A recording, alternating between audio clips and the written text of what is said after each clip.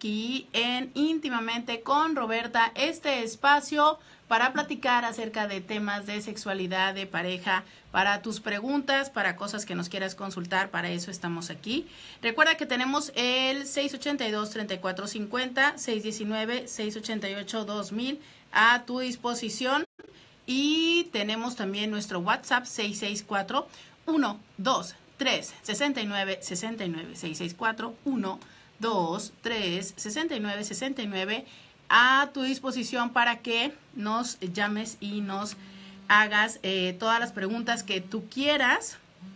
Acuérdate que este programa es para ti. Este programa es para resolver las preguntas, para platicar, para conversar, aquello que no compartes con todas las personas, aquello que eh, solamente guardas en tu intimidad, por eso es íntimamente con Roberta. Y para mí, Roberta Medina, psicóloga, sexóloga y terapeuta de parejas. Es un placer em, estar aquí contigo como todos los días. Oye, ya, qué fuerte, se nos fue el año, definitivo, definitivo. Semana 52, poquititas horas para que termine el año y también poquititas, pero poquitititas horas para que sea dilo y déjalo ir. Este proyecto que somos un grupo de psicólogos que estamos a tu disposición para eh, platicar contigo, para compartir, para eh, que puedas eh, superar aquella situación que esté obstaculizando tu bienestar y que inicies el 2018 de una forma diferente. Para eso estamos contigo, estaremos sábados y domingos este sábado y este domingo, ¿cuáles sábados y domingos ella que, quiere de la vida, no? Eh, estaremos el sábado y el domingo en el parque dos días del año, ahí contigo. Entonces, tú lo único que tienes que hacer es llegar y decir, yo quiero platicar con un psicólogo. Ahí vamos a estar un grupo de psicólogos que ya tenemos experiencia en la atención terapéutica, en la atención privada y vamos a estar para ti. Solamente tienes que llegar y decir, quiero platicar con alguien. Es, recuerda, totalmente gratuito. Dilo y déjalo ir, eh, estrictamente confidencial. ¿Quieres saber más del proyecto? ¿Quieres vernos? Porque recuerda que este es nuestro sexto año. Pues bueno, puedes vernos en la página de Facebook. Dilo y déjalo ir. Ahí puedes ver eh, las publicaciones y puedes ver eh, parte del equipo de las personas que han estado años anteriores. De verdad es que eh, todos en la vida, en algún momento de nuestra vida, necesitamos ayuda, necesitamos un consejo, necesitamos una opinión de alguien que pueda orientarnos y que pueda guiarnos, ¿no? Que nos dé esta otra opinión de lo que nosotros no estamos viendo en la vida y que nos puede ayudar a sentirnos mejor entonces, prepárate para el 2018, prepárate acompañándonos, eh, pudiendo dejar atrás estas eh, situaciones que están obstaculizando tu bienestar. Y para eso, qué mejor que ir con nosotros, dilo y déjalo ir. Esa es la primera invitación que tengo para ustedes, porque hoy se los voy a estar repitiendo. Se las voy a repetir múltiples veces así hasta, hasta que se las aprendan, hasta que se las aprendan y hasta que te encargues de compartirlo. De verdad, ayúdanos porque este año eh, pues fue un año muy complicado en recursos y está siendo complicado ahorita en eh, poder llegar a la invitación a todos ustedes. Entonces, haznos el paro, métete a nuestra página de Facebook, ya sea a mi página personal, sexóloga Roberta Medina, a la de íntimamente con Roberta, a la de Facebook de Dilo y déjalo ir, a cualquier página tú entra al evento de Dilo y déjalo ir y compártelo para que varias personas puedan estarlo eh, viendo y reciban esta invitación. Oye, el día de hoy, no, no, no, no, no, el día de hoy te tengo un temazo, un temazo, que mira que si a ti te gustó el churro de película de 50 sombras de Grey y el doblemente churro, peor película, la siguiente parte, y si estás esperando el 14 de febrero para ir a ver el tercer y peor churro que va a ser, digo, porque si la segunda estuvo mala, la verdad es que la tercera la voy a ir a ver nada más para poder hablar ay, con conocimiento de causa de que la vi, pero realmente esa película está plagada de una serie de situaciones que no son, no son lo que verdaderamente es el BDSM. ¿Tú sabes qué es este estilo de vida? Mitos y realidades de el BDSM, ese es el tema del el día de hoy, pero no sin antes, no sin antes, no sin antes irnos a lo que todas las veces hacemos en cuanto llegamos a íntimamente con Roberta. Y eso es, ¿qué es eso, Walter? Exactamente. Hoy, hoy que es miércoles, dos días antes de que empiece Dilo y déjalo ir, hoy queremos invitarte a tu juguete de la semana. Y este, este es tu joyero. Todas las mujeres tenemos un joyero. Bueno, tenemos un amplio repertorio de accesorios en nuestro joyero hombres y mujeres. Por eso es que es momento de darle un uso sexy, pervertido Busca dentro de todos tus accesorios el que más te guste y utilízalo como mejor te convenga. Puede ser para seducir a tu pareja, para estimular a tu pareja. Las opciones son ilimitadas. ¿Qué tal que podrías estar únicamente vestida con accesorios para modelarle a tu pareja? También podrías poner algún accesorio para controlarlo, quizá como un collar en el cuello o en las muñecas para someterlo o estimular su pene, probablemente también su vulva. Hay tantas formas de utilizar esos collares, ay, esos anillos, de repente poder hacer un masaje y intensificar un poquito la sensación con eh, tus anillos, poder eh, hacer ah, una deliciosa sección, sesión de eh, sexo manual. Hay tantas formas. Ve y utiliza tu joyero para que sea tu juguete de la semana.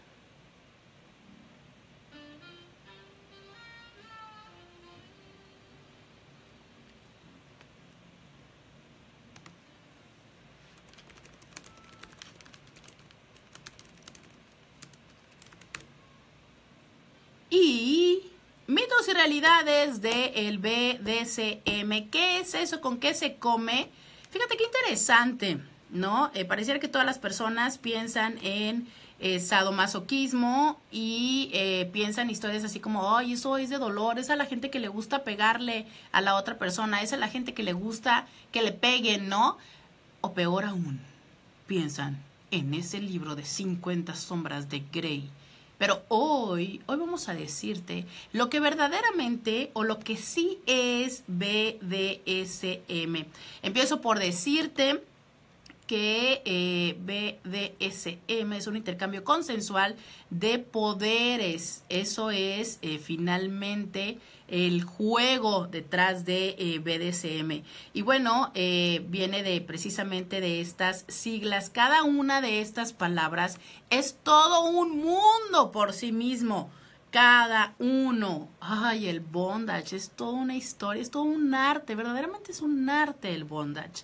Todas las disciplinas, que son muchísimas, pero sobre todo la dominación dentro de este juego el sadismo y el masoquismo, que por cierto están ya precisamente en eh, redefinición como tal. De esto vamos a estar platicando y precisamente es que para platicar de eso, pues wow, tenemos una súper invitada el día de hoy. Te invito a que te quedes con nosotros, pero mejor aún, te invito a que vengas a Facebook para que también compartas con nuestra invitada. 664112 369 69 es nuestro WhatsApp donde estamos esperando tus comentarios. Por supuesto también en el 682 3450 619 688 2000. Exacto, nos dicen por acá en Periscope, qué tema tan caliente. Así es como seguramente vamos a estar regresando después de la pausa. A ver, vamos viendo Cristal. Cristal, ¿estás aquí?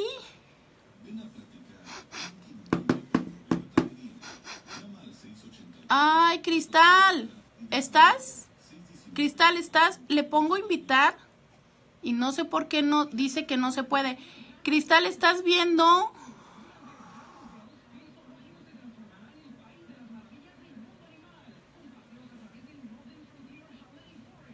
A ver. Cristal, lo que pasa es que quiero, quiero ver si te puedo poner en el video para que tú te veas ahí arribita.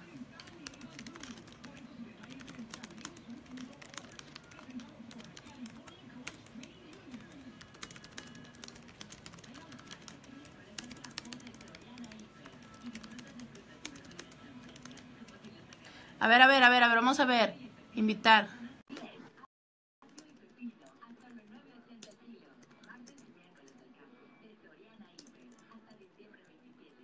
Oye, Cristal dice que rechazaste la invitación.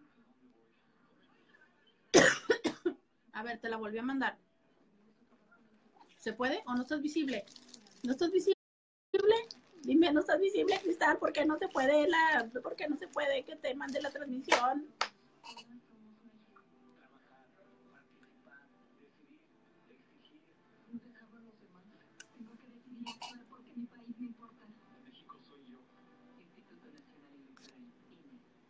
Ah, dame un minuto, vale. Ah, es mi conexión. Es que mi conexión no es buena. Dame un minuto. Ok, vale. Eh, sí, la invitada va a estar por Facebook para que le caigan a Facebook. Los rebeldes de Periscope que no quieren venirse a Facebook, vengan a Facebook para que conozcan a nuestra invitada.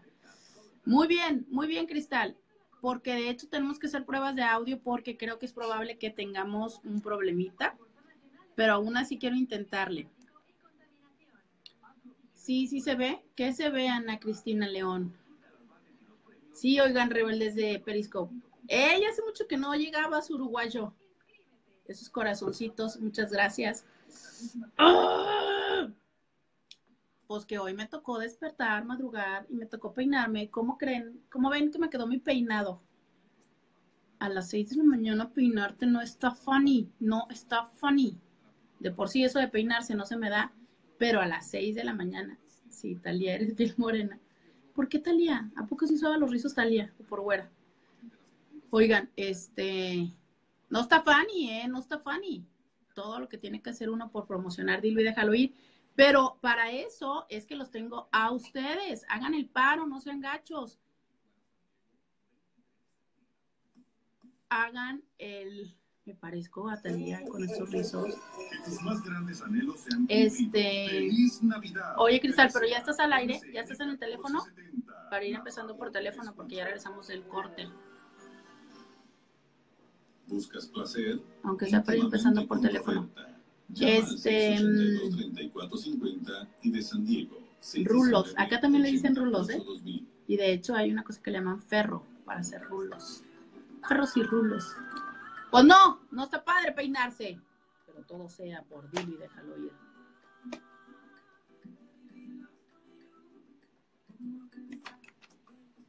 ¿Ya la tenemos? ¿Qué creen? Ya viene nuestra invitada y por lo pronto te digo que si quieres conocerla en persona, pues que te conectes a nuestro Facebook. Está en, nuestro Facebook. Eh, escúchanos y venos en íntimamente con Roberta o en sexo con Roberta. Tenemos eh, a nuestra invitada que va a estar compartiendo con nosotros. Estamos enlazando la llamada porque, bueno, ella eh, realmente vive en la Ciudad de México. México, Distrito Federal. Eh, eh.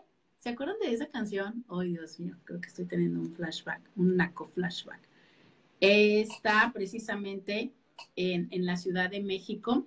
Y fíjate que está ya, estamos conectándola a través de Facebook, pero también la vamos a tener a través de nuestra línea telefónica en ella, como les digo, se encuentra en DF, entonces ahorita vamos a enlazarla vía telefónica. Ya la tenemos vía Facebook, pero no la podemos transmitir el audio de Facebook, pero bueno, ya, ya la tenemos vía Facebook. Y mientras, eh, déjame que te voy eh, platicando acerca de eh, justo lo que te decía, ¿no? De lo que es el BDSM. Contrario a lo que se suele creer, de verdad es que no tiene que ver con coerción y con humillación ni violencia, sino verdaderamente eh, tiene que ver con la erotización que producen los juegos de poder. Y quiero decirte algo, ¿eh? eh yo creo que todos los seres humanos lo practicamos y lo llevamos a cabo en nuestras tanto relaciones emocionales, que ahí sí de repente se nos pasa la mano, ¿no? Por más que digas que no, pero la llevamos también a cabo en nuestras relaciones eróticas, o sea, eh, yo creo que es como más la historia negativa que, se ha vendido mediáticamente, ¿no? De cueros, ligas, eh, de cueros y de latigazos y cosas así, que no necesariamente tienen que ver, o sea, aquí hablemos, estamos hablando de una situación interesante que es el poder. ¿Cuántas veces no es tan excitante, ¿no? El tener a tu pareja y saber que eres capaz de hacer eh, con con, este, con la persona aquello que, que tú decidas. Y bueno, estamos enlazando, pero necesitamos que conteste el teléfono nuestra invitada que nos está viendo a través de Facebook. Entonces, que conteste el teléfono para poder enlazar la llamada y que este, pueda ustedes escucharla. Entonces, este, mientras tanto, te decía yo acerca de cómo es que esto tiene que ver con eh, poder, ¿no? Con este juego donde, donde estamos en este acuerdo de hasta dónde es que tú quieres o hasta dónde es que... Ustedes verán que yo estoy aquí entre Facebook, este, entre acá con el señor Walter y tratamos de la llamada, que si le pueden volver a marcar, Walter Porfis, ya está ella atenta al teléfono. Y este, y todo esto para decirles que, bueno, pues finalmente, no, no tiene que ver con esto, ¿no? Eh, es una falta de información donde se habla acerca y que se generan muchos prejuicios, ¿no? Alrededor de estas prácticas, pero principalmente es falta de información de verdad, de verdad que todos disfrutamos de este juego de poder. ¿A poco no te parece bastante excitante el hecho de poder decirle que no a tu pareja y que tu pareja más quiera? Ya sabes, entonces, de repente el hecho también de saber que tú tienes la capacidad de poder, de calentar a tu pareja y de que tu pareja haga lo que sea con tal de estar contigo, bueno, eso se llama juego de poder. Y lo hacemos. De verdad es que yo siempre les he dicho, ¿eh? Las mujeres luego se nos da muchísimo esta historia de lo que yo llamo el comercio de la entrepierna, ¿no? Sabemos perfectamente cómo decir que sí, cómo decir que no. Y mira que estas épocas navideñas se prestan tanto para que dependa que si nos gusta y no nos gusta el regalo. Entonces, de verdad es que todos lo, llevamos a cabo. ¿Cuántas veces eh, no hemos practicado o no hemos utilizado algunas esposas, algunas... ¿Cuántos no les encanta, no? Dar nalgadas o que los nalguen al momento del encuentro erótico. Bueno, eso tiene que ver con otras formas de erotismo que van más allá del típico romanticismo, ¿no? De flores y velas. Entonces, bueno, es que también en el BDSM las velas son muy importantes, son muy interesantes y pueden ser utilizadas en el cuerpo de una forma muy, muy placentera. Entonces, quiero decirte que precisamente la palabra sadomasoquismo es un acrónimo de los términos sadismo y masoquismo. Y esta es eh, una de las, eh, hay quienes les llaman expresiones comportamentales, hay quienes les llaman parafilias, pero es una de las más, más antiguas y precisamente lo que busca es esta capacidad. ¿Recuerdas que la semana pasada yo les decía acerca de cómo es que sucede que en nuestro cerebro las zonas del placer y de eh, la tristeza, ¿no? Y del dolor y todas están como bien cerquiticas de manera tal en que de repente podemos eh, llorar al momento de tener un orgasmo o también nos podemos carcajear. Bueno, es precisamente por eso, nuestro cerebro es maravilloso, maravilloso, pero funciona de formas en que a veces no entendemos. Entonces, esto hace precisamente la posibilidad de que estímulos eh, más intensos puedan ser muy erotizantes y bueno, parece ser que ya, ya estamos teniendo. Fíjate que en la línea eh, tenemos a Gabriela de Jesús Merlos Sánchez. Ella es diseñadora de la comunicación gráfica por la UAM, es educadora de la sexualidad por INESPA, es terapeuta sexual en formación y bueno, ella se dedica a dar talleres, cursos y conferencias desde hace más de 10 años de BDCM. Es fundadora de Calabozo MX en la Ciudad de México y por supuesto tiene una amplia experiencia como mistress, como ama y definitivamente es que no solamente enseña, sino también vive el BDSM. ¿La tenemos ya en la línea, Walter? Ya, ya la tenemos aquí en la línea. Muy buenas tardes. ¿Cómo estás, Cristal Sade? Ese es eh, su nombre. Muy buenas tardes. ¿Cómo estás, Cristal? Hola, Roberta. Muy bien. Muchas gracias por la invitación. Qué bueno, me da muchísimo, muchísimo gusto poder tenerte aquí. Y a ver, Cristal, yo conozco eh, que, que, el nombre es Mistres o es Ama, ¿cierto? Platícanos, platícanos qué es una Mistres o una Ama. Vamos empezando por ahí. Bueno, eh, son diferentes eh, nombres que se le dan, mistres, amas, domina, dominatrix, diosa también a veces se ocupan, y pues son mujeres que eh, estamos dentro de lo que es el rol dominante. Eso es lo que somos las, las. Perfecto. Vamos, vamos explicando un poquito, eh, Cristal, vamos diciendo, a ver, las siglas BDSM, vámonos, vamos desmenuzando, no vamos por partes, como el descuartizador decía. Empecemos por, ¿qué es el bondage? El bondage son todas las prácticas que tienen que ver con sujetar el cuerpo. Y puede ser a través de cadenas, de plásticos, de telas, de cuerdas, cualquier cosa que sirva para sujetar el cuerpo y mantenerlo inmóvil, a eso se, eh, se refiere el bondage. Fíjate que en la, en la, presentación que ustedes hicieron, que fue donde, donde los conocí en persona, me llamó mucho la atención eh, que utilizaban este plástico para la comida, ¿no? Ajá, sí, Quiero sí. decirte que cuando estaba preparando la comida de Navidad, fue muy complicado para mí ver ese plástico de forma inocente, ¿no? Y eso es lo interesante, que realmente no es la historia como nos la han planteado, que es eh, toda oscura, ¿no? Toda intensa y, a veces, muchas veces violenta y dañina, ¿no? tiene que ver con la capacidad de experimentar el placer, con estas otras cosas que, que, nos dan esta gama de sensaciones tan amplias, ¿no? Sí, de hecho, eh, todos los juegos BDSM son juegos entre parejas, entre la gente que está involucrada. Eh, muchas veces nos vamos con la idea de que es más una onda de dolor, pero pues no es así, o sea, es también mucho cariño, mucho amor, cosas por el estilo. Oye, entonces eh, vamos con la con la B de bondage, que de por sí quiero eh, con, eh, resaltar que la verdad es que es todo un arte, o sea, es de verdad es que no nada más es, es una cuerda, y ya lo decíamos, no es nada más una cuerda, un plástico, un, un vestuario, es la, el conocer y saber cómo hacer esos nudos que puedan estar exactamente en ciertas partes de nuestro cuerpo que generan una explosión de sensaciones cada vez que las, que las jalas. O sea, es, no simplemente son cuerdas y nudos, ¿cierto? Así es. De hecho, eh, bueno, la práctica del bonda se puede hacer, como les decía hace rato, con muchas cosas, pero sí es necesario también pues eh, tomar precauciones a la hora de hacerlo sobre todo porque eh, pues se comprometen varias partes del cuerpo y bueno puede resultar peligroso. Pueden encontrar, por ejemplo, en, en internet muchos tutoriales, sobre todo en, YouTube, le ponen ahí eh, buscar eh, bondas o tutoriales de bondas y van a encontrar formas de hacerlo seguro y pues que no se vaya a dañar a la pareja.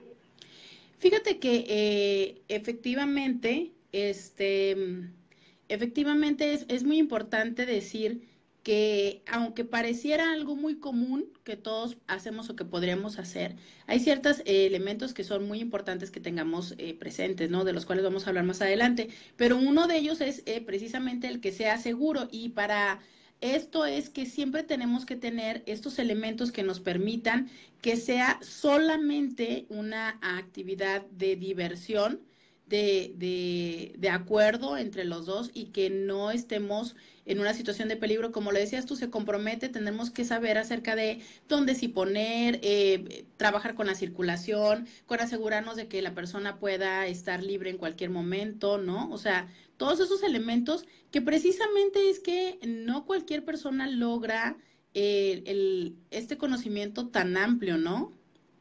Así es. De hecho, se, lo que se busca es que todas las prácticas sean sensatas vaya que dentro de nuestro sistema de valores, pues lo que estemos haciendo lo consideremos que está bien, que no vamos a dañar a la otra persona. Que sean seguras, esto solamente se obtiene a través del conocimiento. Si buscamos eh, aprender sobre lo que vayamos a hacer, ya sea bondage o alguna otra práctica, eh, pues vamos a reducir riesgos y no vamos a dañar a la persona con la que estamos eh, haciendo el juego. Y pues sobre todo que sea consensuado. Si no es consensuado, pues ya no estamos hablando de BDSM, estamos hablando de abuso. Exacto. Entonces, estas, estas tres, eh, estas tres que también eh, son un acrónimo, es muy, muy importante dentro del BDSM.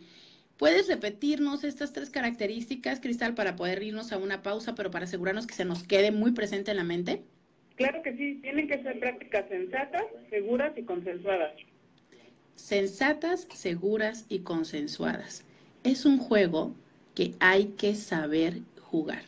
¿Y quieres aprender más? Regresamos después de esta pausa. Cristal,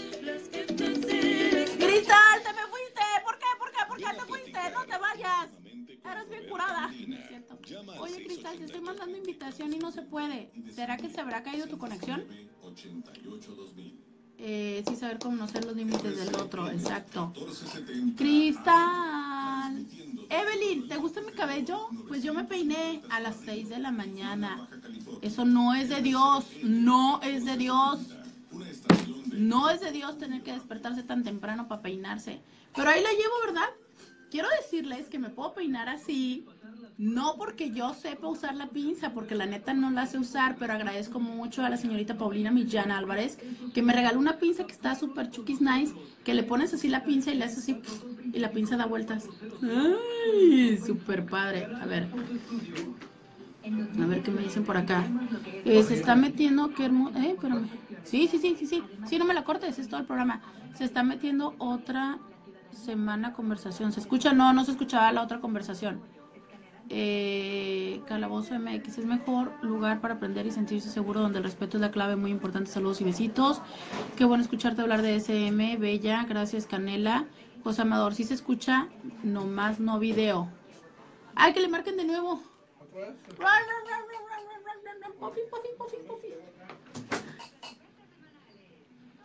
Es que quiero decirles que ya no tenemos a una señorita que nos apoye.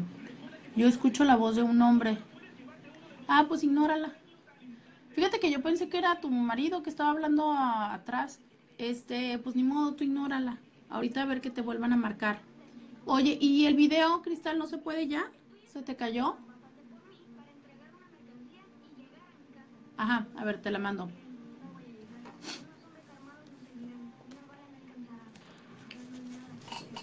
Voy a tapar mi café para no darle ningún gol. ¿Qué creen que estoy tomando? No estoy tomando café.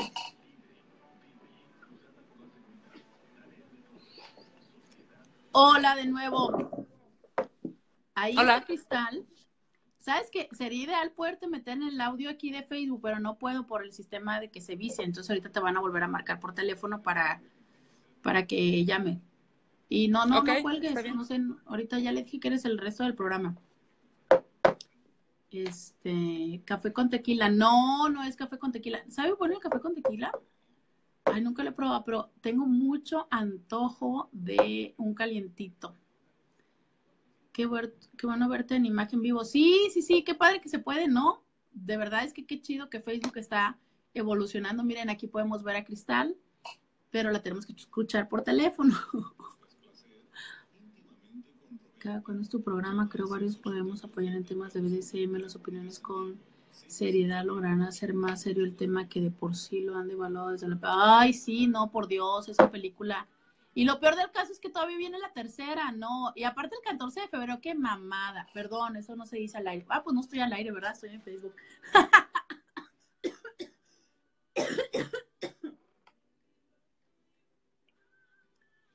Cristal, estamos contigo. Ella es Cristal Sade, ese es su nombre, su nombre artístico. Pues ella es eh, Mistress Ama y tiene más de 10 años de experiencia tratando, tratando, eh, viviendo el BDSM, porque aparte hay que decir, es un estilo de vida, ¿no? Es un estilo de vida que implica, ya eh, nos decías, el conocimiento, la responsabilidad, que sea seguro, sensato y consensuado y nos quedamos en el bondage.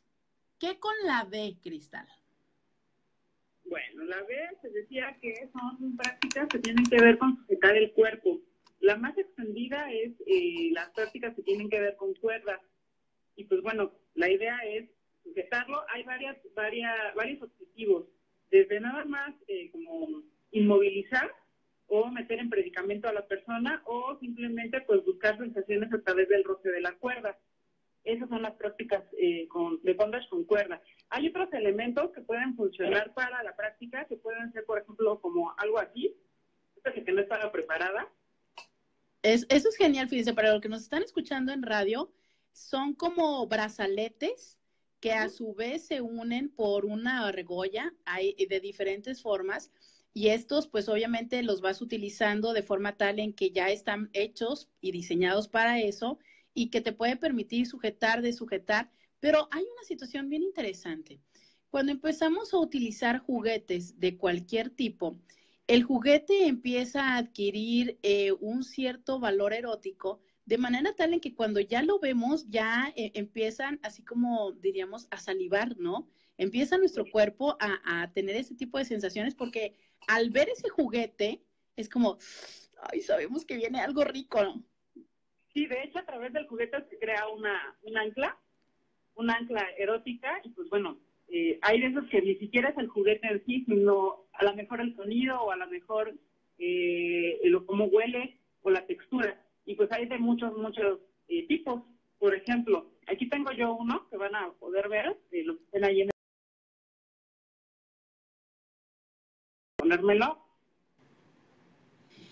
y puedes, eh, te invitamos a que vengas, te invitamos a que vengas a Facebook para que puedas ver esto que eh, nos está mostrando Cristal, porque bueno, hay muchos elementos, pero fíjate que, que, una situación también interesante en lo que se reconecta, fíjate que una situación también muy interesante es el hecho de cómo eh, esto es, es un juego que, que es mental, ¿no?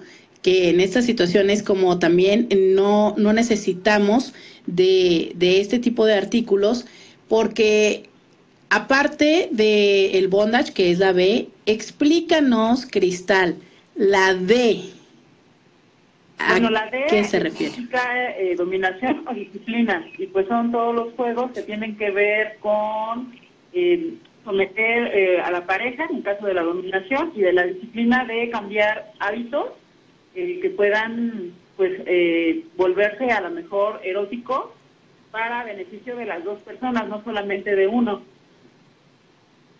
Y en ese sentido, yo creo que eh, muchas veces cuando hablamos de, dominación y de sumisión, eh, es el dilema, ¿no? Donde dicen, ah, qué fácil, ¿no? O sea, es como, pues el que si no hay, eh, que lo complicado es el, el, dominante y otro dice, no, es que lo complicado es el sumiso y, y definitivamente es uno se necesita al otro, o sea, no hay un dominante si no hay un sumiso, como tampoco hay un sumiso si no hay quien le domine, ¿cierto? Así es, de hecho, esto es una onda de complicidad, no hay un rol que sea más importante que el otro. Este, necesitamos eh, pues estar los dos como, o los tres o las cuatro, porque también hay que decir eso, o sea, no solamente son prácticas de dos personas, pero bueno, necesitamos todos estar como en armonía para que todos disfrutemos, o sea, aquí no es una, una cuestión unilateral, es una cuestión en donde las dos personas se acuerdan, en donde las dos personas dicen qué es lo que quieren y qué es lo que necesitan y de la misma forma las dos personas disfrutan. Esa es, esa es la de que hay eh, muchísimas disciplinas, hay, hay muchas eh, oportunidades en muchísimas áreas de aprendizaje. Hablemos eh, del sadismo, o sea, realmente el sadismo es muy distinto a la violencia. Bueno, el sadismo, eh, si es un sadismo consensuado, sigue siendo una práctica erótica, ¿no? El sadismo lo que va a hacer es, eh, la persona disfruta aplicando situaciones o, aplica acciones en donde la persona provoca dolor. Eso es el sadismo. Y bueno, a través de este dolor, la persona que lo recibe, que generalmente es una persona masoquista, pues lo disfruta. Fíjate, estamos recibiendo un comentario aquí en nuestra transmisión en Facebook que dice, recuerda que bondage y shibari en sí su inicio era en Japón para sujetar a los enemigos capturados en las guerras, sujetados, atados y movilizados, pero jamás debe la soga dar vuelta en el cuello evitando que se ahorcara. De ahí en adelante se eh, usa en BDSM para los juegos eróticos y de poder, de control, de excitación y de castigos. Y, y, justo lo decías ahorita, ¿no? Es como saber muy bien dónde eh, no poner ni la soga, ni los látigos, ni los spankers, porque cuando no estamos conscientes de cómo funciona el cuerpo, podemos entonces generar secuelas a largo plazo. Sí, de hecho, eh, o sea, sí, sí está muy extendida esa idea de que el bondage está origina, eh, se origina en Japón, pero en realidad lo que se eh, origina en Japón sería el shibari. Estamos hablando de que prácticamente todas las culturas en el mundo, no solamente en Japón, utilizaron cuerdas para sujetar el cuerpo. La diferencia es que los japoneses sí se em, concentraron o, tenían técnicas muy específicas para, pues en este caso, sujetar a los, a los enemigos, ¿no? De tal forma que eh, los clanes o los grupos no compartían estos secretos entre un grupo y el otro. De ahí es de donde viene el shibari pero digo, o sea, la, práctica de, atar el cuerpo es de muchas culturas, no solamente de la, de la práctica japonesa. Y obviamente tenemos que tomar en cuenta que traducido a, a BSM estamos hablando ya de un contexto erótico, ¿no? Eh, que bueno, puede tener eh, muchas raíces, pero eh, pues sí quitarnos también un poquito la idea de que es solamente japonés, porque no es así. De hecho, hay muchas escuelas, también está la escuela americana, ¿no? Que se le llama más Bondage, que bueno, ellos eh, más que buscar una cuestión estética como lo podría ser la cuestión japonesa, buscan una, una cuestión práctica. Y también es perfectamente válido. Aquí al final lo, importante en el bondage es lo que está sintiendo la, tanto la persona que ata como la persona que recibe la atadura. De verdad es que yo quiero decirles, yo sí ya lo viví.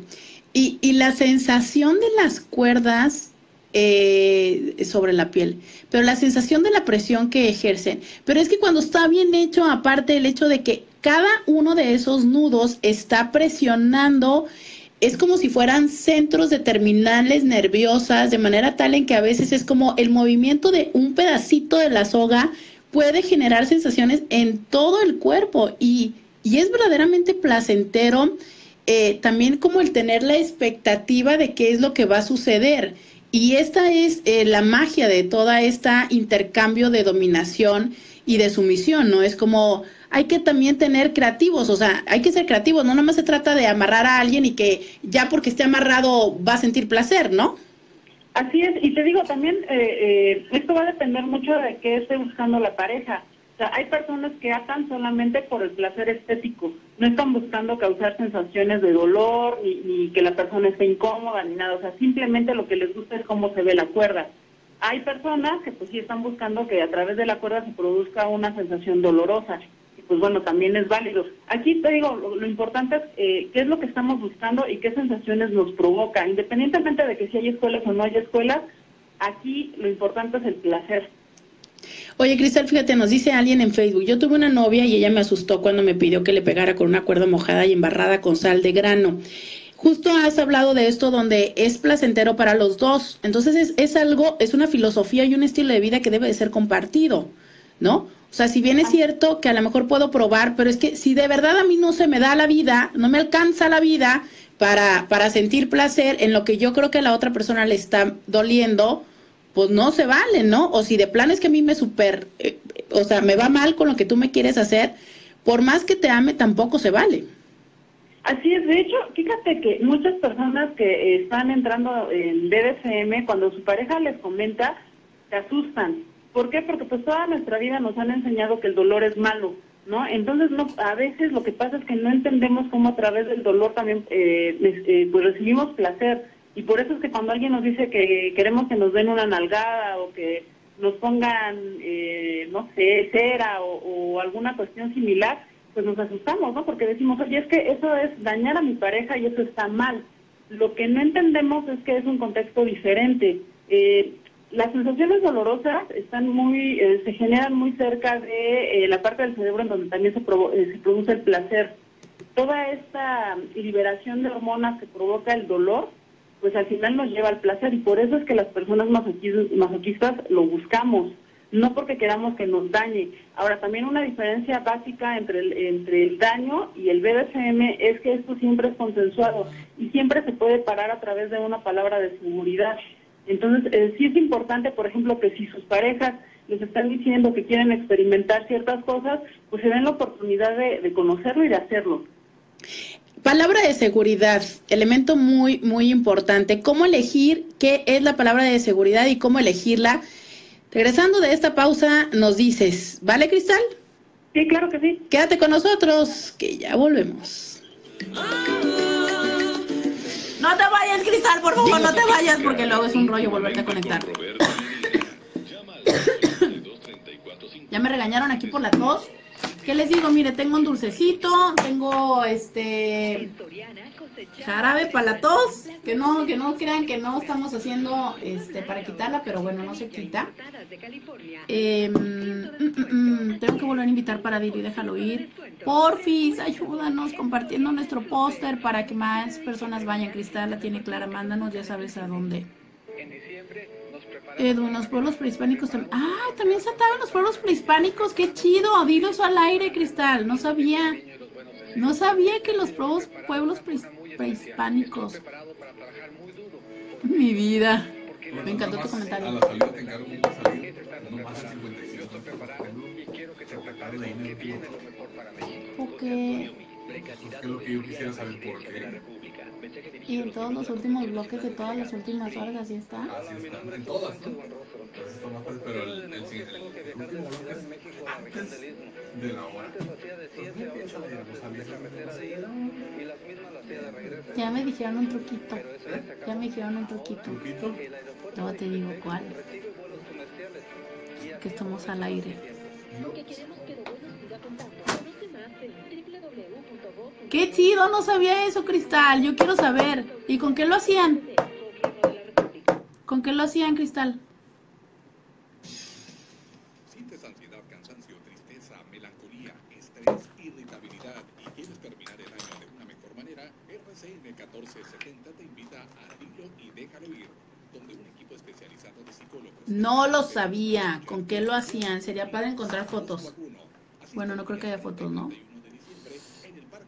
Muchas gracias, uruguayo.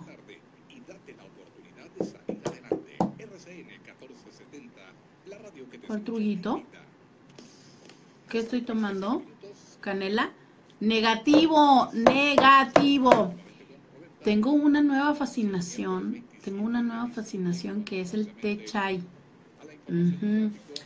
Pero como hoy necesitaba despertar, porque eso de levantarte a las 6 de la mañana para hacerte rizos no está chido, le puse eh, chai con espresso. Ay, me encanta el té chai. Entonces estoy tomando té chai con espresso. No, canela no. Pero ya les dije que tengo antojo un calentito, ¿no? Eh, bueno, el que le llaman calentito. Mm, también del otro pudiera ser bueno. ¿Buscas placer? Íntimamente con Roberta. Llama al 680 Canela, ¿de dónde eres? Y de San Diego, 619 88 Sí, yo también quiero ir a una fiesta de calabozo. De hecho, ya les dije que me inviten a un curso a calabozo. Ay, gracias por mi aretito. Vamos. Y estamos acá de regreso entonces, a ver, Cristal, quedamos. Elementos importantes, lo dijimos desde la primera, eh, desde el primer bloque que estuvimos juntas, es que sea seguro, sensato y consensuado. Así es. Y, y en el bloque anterior te comentaba que es importante establecer una palabra de seguridad. La palabra de seguridad lo que va a hacer es eh, hacernos sentir seguros o segura para que si en algún momento dentro de la sesión eh, necesitamos parar lo que está pasando, pues se pare, ¿no? Eh, la palabra de seguridad pues, quiere que sea una palabra que no tenga que ver nada con lo que estamos haciendo. Por ejemplo, se me ocurre eh, zapato, ¿no? Si yo digo zapato a la hora de que estoy sesionando, pues bueno, en ese momento paramos lo que estamos haciendo porque algo me está incomodando o simplemente ya no quiero hacer la sesión. Ahora también se ocupa lo que es un semáforo. En el semáforo existe lo que es eh, verde, amarillo, rojo y negro. Verde, pues esto está bien, hay que seguir. Obviamente la mayoría de la gente pues no ocupa esa palabra, ¿verdad? Eh, amarillo es... Bueno, sí, cristal, sí, eh, cristal, pero no dicen verde, ¿no? Dicen más, más, así, así, ahí, ahí, ¿no? dale, dale. sí, sí. Y bueno, te decía, amarillo es como, a ver, o sea, lo que estás haciendo sí me gusta, pero a lo mejor me está como incomodando, a lo mejor podrías cambiar eh, la forma en cómo lo estás haciendo o la intensidad. O sea, la traducción es no es mi hit. La traducción es no es mi hit. Ajá, Okay. O, sí lo es, pero ya como que ya me está aburriendo, ¿no? A lo mejor cambiarlo. Ajá. Eh, rojo es para, ¿sabes qué? O sea, lo que estés haciendo, eh, páralo. ¿No? Algo pasó eh, o simplemente ya me dolió demasiado o ya me aburrió, pero ya no quiero que lo hagas. Ahí lo vamos a parar. O sea, la traducción es ahí muere. La traducción es ahí muere. Ajá. Y negro, que eso nosotros lo, lo implementamos acá, es para parar completamente la sesión. O sea, algo sucedió dentro de la sesión, a lo mejor me comencé a sentir mal, me duele el estómago, me acordé de que a mi perrito este, se quedó encerrado y tengo que irlo a sacar, o no sé, eh, algo sucedió dentro de mi cabeza que ya no estoy cómoda y quiero que se pare completamente, entonces digo negro. Y ahí paramos lo, lo, pues lo que estamos haciendo y pues bueno, tenemos una retroalimentación para ver qué fue lo que sucedió. Ahí es el renuncio, pues. Así es. Oye, esto es interesante, tenemos una retroalimentación. ¿La comunicación sigue siendo entonces un elemento clave e importante en esta relación? No te escuché, perdón. Que la comunicación sigue siendo un elemento clave e importante en esta relación. Sí, de hecho, al iniciar una relación BDSM, lo primero que se debe de hablar es, eh, pues, todo lo que estamos esperando, ¿no? Tanto hacer como que nos hagan. Aquí la comunicación es sumamente importante porque literalmente con algunas prácticas se nos puede ir la vida. Entonces, pues aquí es, eh, primero que todo, conocernos para saber qué queremos y segundo, para poder saber pedirlo. Para saber pedirlo. Así es. Y entonces también es importante conocer nuestros límites eh, corporales y emocionales, ¿cierto? O sea, eh, puede ser que una práctica para alguien le sea súper emocionante, súper excitante y que otra persona a lo mejor por su historia de vida le parezca muy humillante. Así es, así es. Y también es importante saber decir que no, porque resulta que hay veces que nuestra, nuestra contraparte en el juego, pues a lo mejor le gusta cierta actividad que a nosotros no, y por querer complacerlo terminamos haciendo y pues bueno, resulta que ya a la mitad de la sesión nos sentimos muy mal porque estamos haciendo algo que no queremos. Entonces es importante decirle, ¿sabes qué? Esta práctica no me gusta, este, no la quiero hacer y pues bueno, respetar sobre todo cuando alguien nos dice que no. Ahora, es importante también eh, que haya una negociación y establecer cuáles son nuestros límites duros y cuáles son nuestros límites blandos. Tema muy importante eso. A ver, venga, ¿qué son los duros y qué son los blandos? los, límites. límites blandos son aquellas cosas que no nos enloquecen especialmente, o sea, no nos gustan, pero que podríamos estar dispuestos a hacerlo. Por ejemplo, a mí, a mí no me gusta una práctica de feminización, de feminizar a mi sumiso, pero no tengo un problema en hacerlo y en algunas situaciones previo acuerdo lo puedo hacer. Ok. ¿Y los límites duros? Los límites duros son aquellas cosas que de ninguna manera voy a hacer. ¿Por qué? Porque pues, dentro de mis valores o dentro de lo que yo quiero, dentro de lo que yo espero, no lo quiero. Por ejemplo, para mí una práctica, una, un, este, un límite duro sería eh, establecer contacto con sangre eh, sin las medidas de seguridad eh, suficientes, ¿no? Por ejemplo, el uso de guantes este, o o cada quien, ¿no? Lo va desarrollando. Pero fíjate que, qué interesante esto que dices, Cristales. Una vez más, es una relación en dos sentidos. Es tanto lo que a la persona que se rendirá al placer, conocido como sumiso, como la persona que estará a cargo de esto, qué les viene bien, qué es que lo que podemos hacer en común y resaltar es una relación. Muchos lo llevan a su relación de pareja, muchos lo buscan con, con personas profesionales como tú y entonces, este, todo esto de la comunicación, de tener los límites claros, de hablar de cuáles son las prácticas, es, es una situación muy importante. Entonces, mi recomendación es, hay muchísimo de qué hablar, Cristal, y, y bueno, próximamente también vamos a, a tenerte en, en, otro programa y también vamos a tener a, al amo, ¿no? Al amo Alexander. Eh, Cristal, entonces, importante, acércate con personas que lo sepan, que conozcan este estilo de vida, ya sea para que contrates una sesión profesional o para que aprendas cómo vivirlo en tu vida. Y para eso, ¿en dónde pueden encontrarte, Cristal? Bueno, yo estoy dentro del grupo que se llama Calabozo. Eh, nos pueden encontrar en internet en www.calabozo.com.mx o en Facebook como Calabozo México o en Twitter como Calabozo MX o en mi Facebook personal como Cristal de Sabe. Un, último comentario, dice, creo que las mujeres son más libres para esto. Eh, ¿Quiénes lo practican más, hombres o mujeres, Cristal?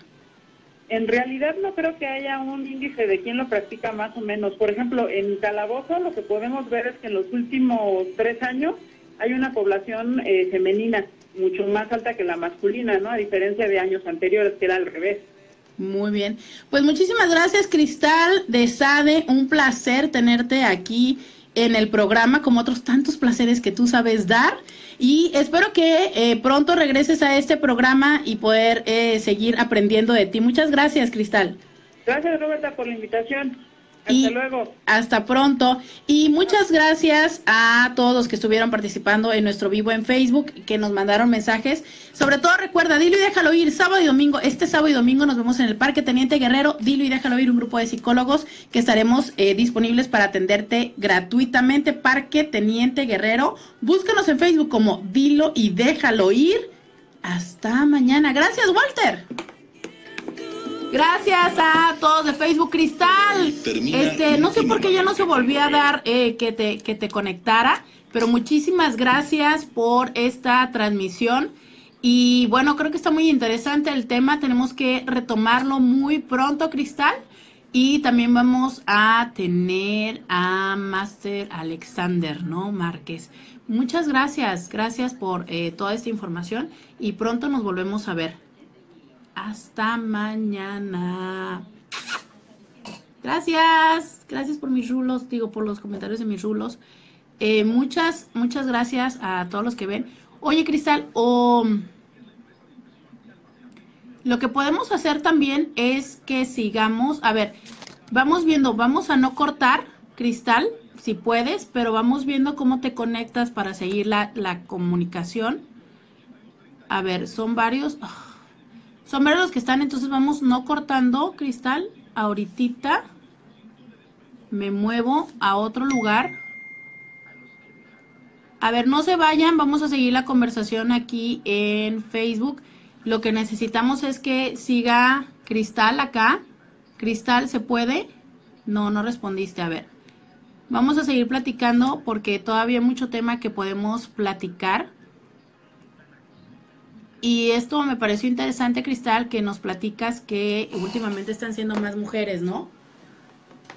Es como una práctica que casi siempre decían, bueno, es que los hombres son más los que lo hacen, pero bueno, creo que lo único bueno que podemos decir de las películas de 50 sombras de Grey es que de alguna forma han abierto este tema a que más personas lo, lo hablen. Sin embargo, eh, creo que estará de acuerdo Cristal conmigo. Cristal, sigues aquí en la transmisión, ¿no? Eh, si puedes moverte a algún lugar donde puedas agarrar señal para seguir platicando. Pero creo que estarás de acuerdo conmigo, Cristal, que eh, muchas de las cosas que se dicen en la película de 50 sombras confunden, ¿no? Porque realmente la película de 50 sombras incluye una como manipulación romántica que no es lo que se da en una relación BDSMera, eh, ni en una relación comercial, ni en una relación de pareja, ¿no? La relación de pareja inicia como tal y entonces tienen el acuerdo de jugar ese tipo de situaciones y entonces ahí sí habría este índice romántico, ¿no? Pero toda esta situación que luego manejan en la película, pero sobre todo lo que me parece muy importante decir es eh, la manera en la que dan las prácticas, ¿no? En la película, que hay golpes en, en esta parte de la espalda, en esta parte de la espalda, bueno, en esta parte de la espalda, que es importante decir, bueno, no, hay ciertos lugares donde son más... Eh, más recomendables, por ejemplo, en lo gordito de la nalga, ¿no? Que finalmente es ahí donde está eh, la, posibilidad de, dar unas nalgadas o de golpear sin lastimar. Estos y otros lugares. A ver, vamos viendo, Cristal, conéctate para que hablemos de esas eh, cosas, de tips rápidos que podemos darles a las personas. Ay, Cristal, ¿te fuiste? Vamos viendo. Quiero que les demos una serie de tips, Cristal, de cuáles son los golpes que no se tienen que dar, dónde se pueden dar. Vamos a esperar a que podamos verla. A ver, Cristal. Invitar a Cristal al video, aquí está. Porque bueno, este realmente, como les decía, ¿no? Es esta película, esta peli, como que equivocó muchos de los conceptos. Y este, y bueno, esta situación de, ya sabes, le daba dos nalgadas y entonces ya con las dos nalgadas la otra ya estaba así como de... super quiero, eso no es cierto. Esta es una práctica erótica, ¿no? Y por erotismo estamos hablando de que se ocupa tiempo, se ocupa saber estimular, se ocupa tomar, tomar toda, este, eh, toda la estimulación. Eh, algo que es usual es la privación, ¿no? La privación de sensorial. Esto es, eh, por ejemplo, no permitir que la persona pueda ver. Esa es, esa es una privación de, de un sentido. El no permitir que la persona pueda moverse. Porque esto tiene que ver con la incrementar la expectativa y sostener un ritmo. Esto es algo también importante dentro de la práctica BDSM, ¿no? Eh, el sostener un ritmo, que este mismo ritmo vaya como también en crecimiento, ¿no? O sea, es, hay que mantener tanto, hay que mantener tanto la estimulación como la variación. Sostener un mismo estímulo por mucho tiempo, esto es, si tú estás utilizando, ¿de quién son esos corazoncitos? Muchas gracias por los corazoncitos. Si tú estás utilizando un mismo estímulo, por ejemplo, estás nalgueando a alguien, ¿no? O estás con el látigo. ¿Sí va a venir Sonia? Sí. ¿Sí? Estás con el látigo y le estás dando con exactamente el mismo ritmo, pues claro que llega un momento en que la persona es así como de, bueno, gracias, está chido, pero le puedes cambiar. ¿Qué era lo que se refería Cristal cuando decía acerca de eh, este amarillo y demás? Donde entonces tú vas ayudando a la persona a que eh, pueda a ver, déjame pensar a dónde me voy a ir, donde puedes ayudar a la persona a que pueda irte diciendo qué es lo que sí le gusta y lo que no le gusta, ¿no? Y entonces también es una situación interesante donde tienes que estar siendo creativa o creativo. Y miren, aquí vamos de pasada por mi radio. ¿Qué onda? Donde tienes que ser creativo. ¿Dónde cuando? Voy a entrevista hoy, no, mañana, ¿no? Mañana. Ok, ahorita subo. Este, donde tienes que ser creativo creativa de ver qué es lo que vas a estar estimulando en la pareja, ¿no? Y este, esta situación de la sorpresa es algo muy interesante. Generar la expectativa, por ejemplo, si estás utilizando eh, velas, ¿no?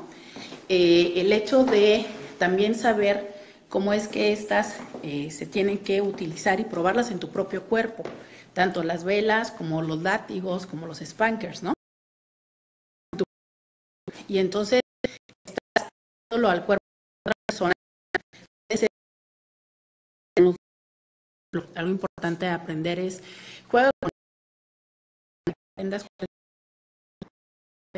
cómo es el el, el,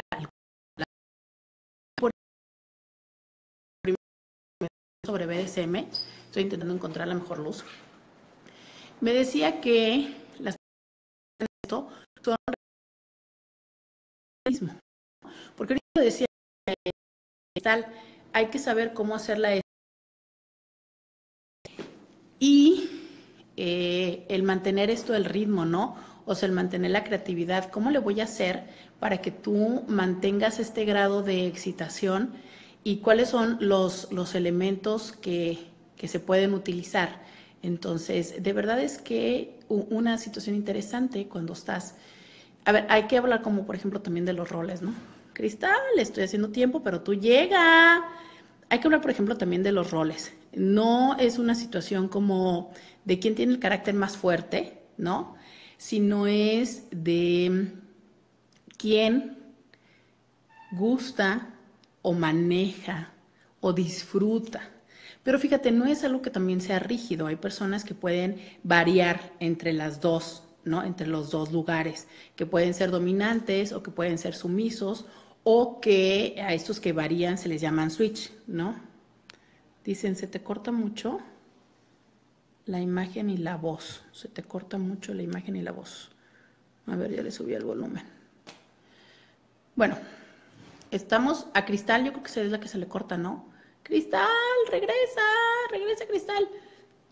Bueno, entonces, este, esta situación, ¿no? De, vamos viendo Cristal, esta, esta situación de cuáles, cuáles son los roles. Y eh, les, estaba, les estaba yo diciendo, ¿no? Que muchos lo practican en su vida erótica sin saber qué realmente es esto. porque tiene que ver con cómo es que yo estoy a cargo de eh, la situación. Fíjense que algo que, que resulta interesante también aprender, ya, ya se ve mejor la luz. Oye, Cristal no regresa. Algo que resulta muy interesante aprender, les decía, es el lugar donde sí se puede hacer ese tipo de prácticas, que es hay que preservar los órganos vitales, esto es, no hay que golpear donde se puedan lastimar vísceras, ¿no? Porque este, podemos generar golpes que puedan tener alguna eh, situación de, de largo plazo y que eso no va a ser placentero. Entonces, eh, una situación para ir conociendo los límites tanto de tu propio cuerpo como del cuerpo del otro es empezar a saber con estas palabras que ya nos enseñó Cristal, ¿no? con el amarillo, con el rojo, con el verde, eh, hasta dónde es que la persona puede ir viviendo. Hay muchísimos juguetes que puedes comprar en las tiendas que son para eso, ¿no? Pero si te fijas, básicamente todos estos juguetes tienen que ver con eso, con este con la sujeción, con el hecho de, em, bueno, yo me refiero a los básicos, ¿no? Ya cuando entras a un mundo muy especializado, ellos pues por supuesto conocen muchísimo más de que si un látigo es de piel o no es de piel, o que si tiene las cuerdas delgadas, o que si tiene nudos, o que si tiene este puntas, ¿no? O sea, ya eso es una situación que recalco, es importante que aprendas antes de utilizarlos. Pero vámonos como a un BDSM medio rosa, ¿no? Eh, para ellos el, sexo o la relación erótica común que tenemos la mayoría de las personas, ellos le llaman vainilla. Entonces, este no es un BDSM vainilla, pero digamos un BDS eh, rosa, ¿no? Entonces, mmm, miren qué padre, nos están hablando acerca de, calabozo. Entonces, este... Cristal, no me puedo conectar contigo, pero sería padre si entonces también le dices a Master o alguno de los dos, cáiganle para, para que hablen de esto desde, desde la experiencia, que ustedes, bueno, tienen 10 años enseñando esto, ¿no? Entonces ustedes saben. Entonces eh, les decía yo, ¿no? Bueno, este tipo de situaciones donde es acerca de eh, la restricción. Miren, nos dice, por ejemplo, Cristal. No, Ay, bloqueé cristal y ya no sé cómo desbloquearla. Eh, porfis, porfis, porfis, Alexander Márquez, conéctate, porfis. Alguien que se conecte, Cristal o Marqués. Este, ah, pues les decía yo acerca de eh, cuando tú empiezas en esto, puedes empezar a utilizar, por ejemplo, algo que aprendí de ellos es que utilizan el plástico. Sí, el plástico que utilizas en la cocina cuando estás, este, cocinando, ¿no? Y este plástico que luego el que venden en salchichonería. Entonces, fíjate, es una situación muy práctica donde puedes amarrar este, las manos de las personas, los tobillos, eh, donde la puedes amarrar a lo mejor a la cama, a algún lugar, pero siempre tienen que tener presente esto que nos enseñó Cristal, que es que sea seguro. Entonces, por eso es importante tener a la mano unas tijeras y estas tijeras tienen que ser de una forma en la que no vayas a lastimar la piel de la persona. O sea, no utilicen esas este, tijeras filosas, por favor, jamás se les ocurra utilizar una navaja, ¿no? Porque puede ser este, problemático porque este, de esta manera es que si algo sale mal o que si la persona ya no quiere, puedan ustedes eh, generar, ¿no? El decir, bueno, hasta aquí. Entonces, eh, precisamente nos dicen aquí, ¿no? Ese film. Em, ok. Otra, otra situación interesante es, fíjense que es que no sé por qué no aparece cristal. Otra, otra situación a considerar es tener esta palabra de seguridad muy bien clara, con qué es lo que van a jugar y qué es lo que pueden entonces utilizar para contrarrestar lo que están haciendo. Por ejemplo, si están utilizando velas calientes, ¿cómo es que si el exceso de calor llegara a lastimar a la persona, cómo es que van a hacer para, este, para cambiarlo, ¿no? Algo que es muy importante que no, que no alcanzamos a platicar con Cristal a quien estoy esperando que se vuelva a conectar, es este cómo hacer esta sesión después. Después de la sesión, esto que Cristal hablaba de la retro, tiene que ver con eh, cómo es que nosotros vamos a eh, platicar y sobre todo algo que le conocen como el aftercare, ¿no? El aftercare es el momento en el que está este agradecimiento por lo que hemos compartido, por este, este momento que recordemos que lo más importante en el BDSM es eh, la diversión, ¿no? Es un juego. Entonces, precisamente porque es un juego, ay, qué horrible película, Adrián, Andrea, que es una película que se queda con las esposas. Entonces, precisamente como es un juego, es yo te estoy permitiendo a ti, ¿no? Que uses mi cuerpo para este juego. Entonces, por eso es que es importante que haya esta mm, situación donde entonces agradezco lo que hemos compartido y donde hay este cuidado de aquellas eh, huellas que puedan estar en, en, tu cuerpo o que hayan quedado del juego, donde existe esta forma de mm, agradecimiento a ello, ¿no? Y este agradecimiento puede ser a través del contacto, a través de... Em, pues de bueno, de cuidar estas, que fíjense que algo muy interesante es, realmente no debería de haber heridas, ¿no? O no en todas las prácticas hay, hay heridas. Entonces, vamos buscando aquí a Sade. Es que fíjense que se, se, cayó la conexión. Entonces, no en todas las prácticas hay heridas, ¿no? Pero sí es importante este momento de, eh, de agradecimiento y de aftercare. Otro término importante es el subespacio que eso sí me encantaría que Cristal fuera la que les platicara acerca de esto, pero no veo a Cristal. Porfis, mándenle un mensaje a Cristal y díganle que regrese. Eh, esta, esta, situación del, del subespacio, que es un momento en el que las personas que lo están practicando logran abandonarse, ¿no? A esta situación y donde el placer es muy, muy intenso. Eh, es como una desconexión que se llega a generar en el propio cuerpo donde es tan intensa la, situación que de verdad es como si dejaras de tener contacto, como si tuvieras una, una, pues no sé, hay quienes lo llaman hasta experiencia extracorpórea, ¿no? Pero este, pero e, esa es una situación también muy padre, ¿no? Y esto solamente se da cuando, por supuesto, llega a haber la conexión con la persona. Déjenme ver. César Porfis, este, escríbele un mensaje a Cristal de Sade y dile que si se puede volver a conectar al chat para hacerle el video.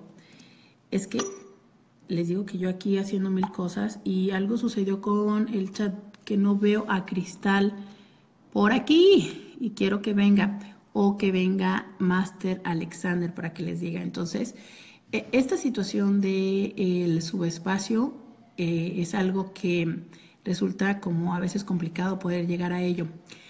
Eh, Cristal, eh, el amo Alexander Márquez y Fernanda Tapia coordinan, escriben un libro muy interesante que se llama 50 sombras de Fer. De verdad es que les recomiendo ese libro. Aparte de que el libro está precioso, porque de verdad está muy, muy bonito. Pasta dura, grande. E, es, es, una, es un acompañamiento donde te lleva de la mano a través de todo lo que son los términos, a través de que lo vayas aprendiendo, te dan recomendaciones súper específicas de cómo utilizar cada uno de los elementos, está escrito con eh, comentarios, ¿no? De las personas que, que precisamente que lo hicieron y que lo han vivido porque quiero decirles, esto no nada más es una situación así como de una vez, ¿no? Es, es, un estilo de vida. Entonces, es muy padre porque personas que tienen mucho tiempo viviéndolo y que, que lo practican, en, esta, en este libro te explican, te dicen cómo hacerlo. Entonces, yo, yo les sugiero que, que lo busquen porque de verdad es que, eh, les digo, es algo muy interesante este libro 50 sombras de Fer. Así es como se llama el libro. A ver, vamos, vamos a ver, ya me acordé, miren. Es que entonces también le puedo llamar por acá Cristal. 50 sombras de Fer. De verdad es que eh, les sugiero. Como les digo, ahí escriben eh, Master.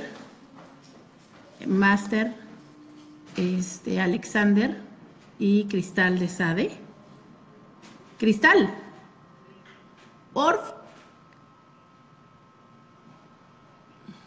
A ver, conéctate al, al video para volver a, conectarte, porque mira, aquí nos están esperando 60 personas.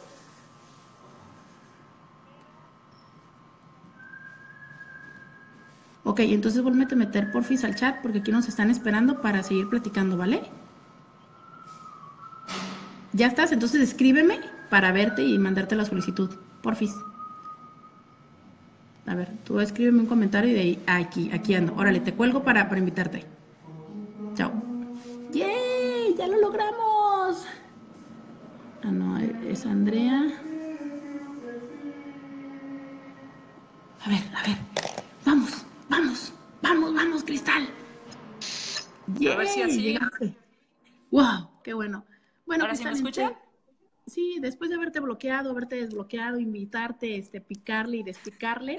A ver, pues mira, les un poquito acerca de este, pero quiero que nos hables más acerca del subespacio y que nos digas dónde pegar, dónde no pegar y comentarios así como súper cosas básicas, ¿no? Del BDSM. Entonces vamos empezando por dónde pegar y dónde no pegar o cómo pegar. Ok, bueno, el, subspace no es otra cosa más que como un pasón de hormonas, eso es lo que sucede. Todo lo que genera la sesión eh, son hormonas que, eh, se, que llenan al cuerpo y nos llevan a lo que podría considerarse un estado alterado de la conciencia. Eso es el subspace. No siempre se alcanza en las sesiones y no todas las personas lo viven. Eso también es importante decirlo, porque luego pasa un poquito como con el orgasmo, ¿no? Que todos quieren alcanzar el orgasmo y se olvidan de todo el proceso que también es bastante rico. Entonces, este, bueno, si nunca han alcanzado el subspace, tampoco pasa nada. Acabo de romper mi tenis, pero bueno, eso no importa. Oye, entonces es como, realmente es es un rush, ¿no? Es un flujo así enorme que, nos pierde a nivel cerebral y que genera eh, la, sensación alterada de todas, de todas nuestras capacidades, ¿no? Así es. De todos nuestros sentidos. Así es. Eso es lo que es el, el, subspace. También es importante hablar de eh, algo que se, se puede producir después de una sesión que se conoce como subdrop o eh, también va en los dominantes, pero generalmente más en los sumisos. Ahí lo que sucede es que después de las sesiones viene una caída de las hormonas. Entonces hace que, uno se sienta totalmente triste, que la vida ya no vale nada. Este, si te dicen algo, pues ¿Neta? te llorar, sí. Y mucha gente no sabe. Entonces cuando pasa la sesión empiezan a sentir todo eso y no saben qué está pasando. Y eso es, es un bajón de hormonas. Entonces sí es importante que estén conscientes. Ojo, tampoco es que le dé a todos, ¿no? O sea, hay gente a la que nunca jamás en la vida le da. ¿Mandé? ¿A quién dices que le dan más? ¿Al, al sumiso? regularmente a los sumisos, eh, por todo lo que, lo que pues conlleva una sesión de desgaste, ¿no? Este, pero también se dan casos en, dominantes, o sea, sí, sí, sí llega a pasar. Pues que eh, resulta, resulta lógico, ¿no? O sea, mientras nuestro cuerpo está así como a la expectativa y siendo hiperestimulado, porque obviamente es como grados más altos de erotismo y demás, pues que el cuerpo de repente diga así como que, uy, déjame repongo, ¿no? Así es. Así es, y pues te digo, son bajones de hormonas que lo único que hay que hacer pues es descansar, dormir, comer algo que, que te guste, eh, escuchar música que te guste, como para que el cerebro otra vez eh, tenga su nivel normal eh, y pues bueno, se, se, relaje, ¿no? Y vea que no está pasando nada malo. Ok, eso fíjate, es bien interesante, esta no me la sabía. A ver, entonces, a ver, explícanos. Si yo quiero empezar a jugar con mi pareja, ¿por dónde puedo empezar? Cosas que puedan ser seguras, que no sean complicadas y que lo podamos disfrutar.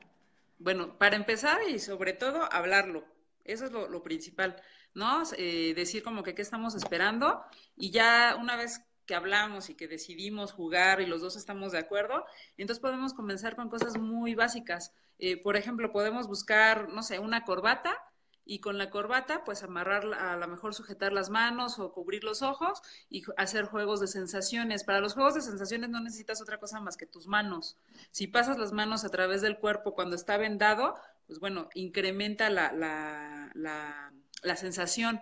Es importante también entender que los juegos BDSM no solamente son juegos dolorosos, son juegos de sensaciones, porque también mucha gente piensa que toda la gente que practicamos BDSM nos encanta y nos fascina el dolor, y no es así. Hay gente que no es masoquista, solamente le gusta pues la sensación o incluso solamente que le ordenen, ¿no? Por ejemplo, que le digan, este, párate de esta forma, acomódate así, eh, cuestiones por el estilo y eso también es importante señalarlo. Oye, ¿y qué, por ejemplo, eh, decías tú que últimamente en los últimos tres años se está dando un incremento mucho en mujeres? Eh, ¿Cuáles son las prácticas más comunes, lo que más te piden cuando una persona va a sesionar contigo? ¿Qué es de lo más frecuente? Pues las que más piden son spank, eh, eh, vaya, nalgadas, azotes que pueden ser con instrumentos como floggers o como látigos o como canes. El canes es una varita, ahorita no tengo ninguna aquí, pero bueno. Em, también me piden mucho cera. ¿Mandé? El fuete.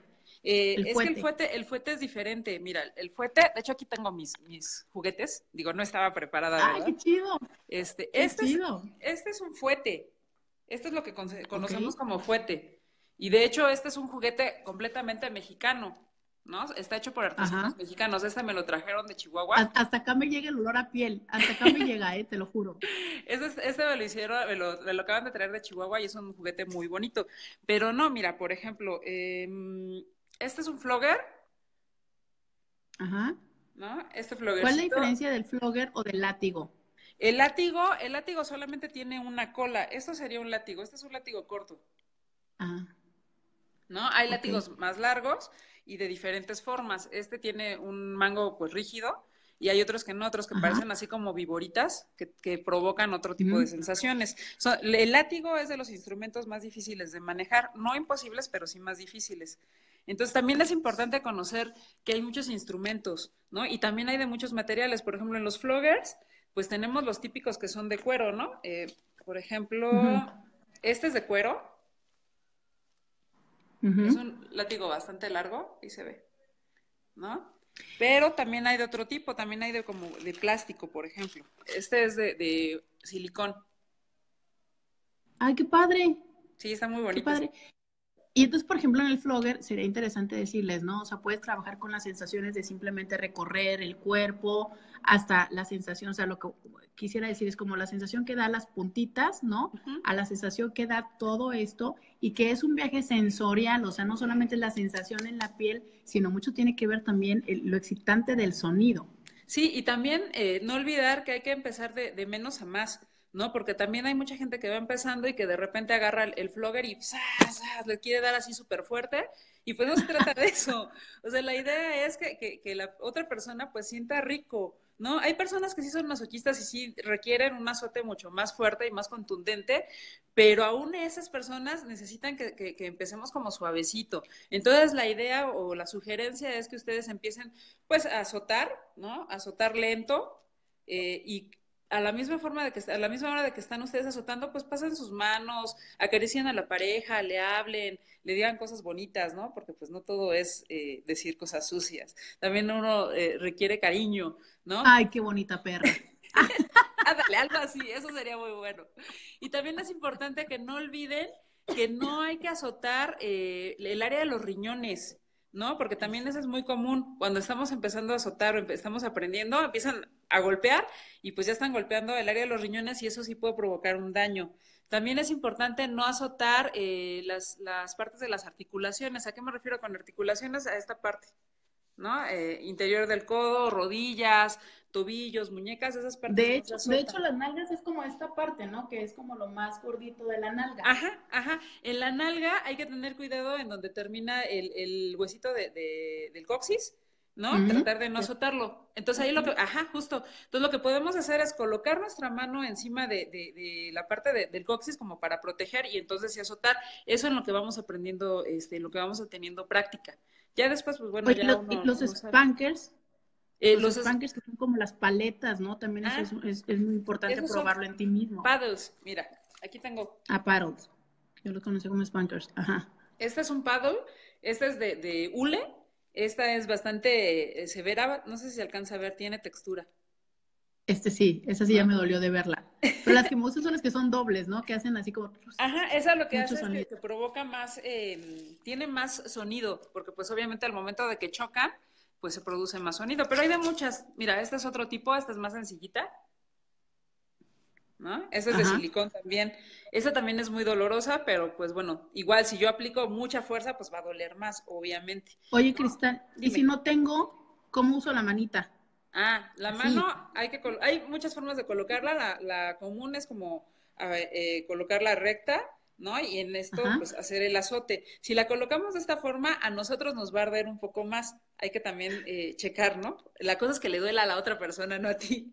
Este, o arqueamos un poquito o la que mano. suene rico. Claro, si, si, hacemos esta figura, que es como de cazuelita, y hacemos el azote, va a provocar un, va a producir un, eco. Entonces también eso pues le suma al momento de dar el azote. Bueno, entonces eso es como eh, empezar un poquito a ese tipo de juegos. Ya hablamos acerca de cómo eh, la restricción, ¿no? Eh, elementos para la restricción, elementos para, para golpear. ¿Qué otro tipo de prácticas son las que te piden? juegos con pinzas también me piden mucho. las pinzas no son más que las que ocupamos para tender la ropa, ¿no? Por ejemplo, ah, justamente ayer acabo de comprar unas, curiosamente. ¿no? Déjame ver. Bueno, no sé si, se alcanzan a ver. Esas tienen hasta unas florecitas muy chistosas, ¿no? Son muy baratas eh, y bueno, las pueden conseguir. Estas tienen. Oye, ¿y esas en dónde? ¿Como en dónde las Esas las pueden colocar prácticamente en cualquier parte del cuerpo, a excepción obviamente de, de, ojos, ¿no? Pero bueno, cachetes, nariz, eh, boca, sí se puede, se puede colocar. Nada más hay que tener cuidado, sobre todo si jugamos como a, tirarlas, ya sea con una fusta o con la mano, este, porque pues sí puede eh, lastimar, sobre todo cuando son muy apretadas. Hay de muchos tipos de pinzas, mira, por ejemplo, esta es una pinza especializada. Este sí, esa de apretar bien machín. Eh, sí, pero trae un dispositivo, aquí se ve, no sé si lo alcanzan a ver, es un tornillito, ¿no? Entonces ese tornillito lo que va a hacer es que la pinza se quede un poco abierta y pues realmente no, no la persona va a, a tener menos. Ah. ¿No? Mira, por ejemplo, ahí, ahí. Como las pinzas perras. Ajá.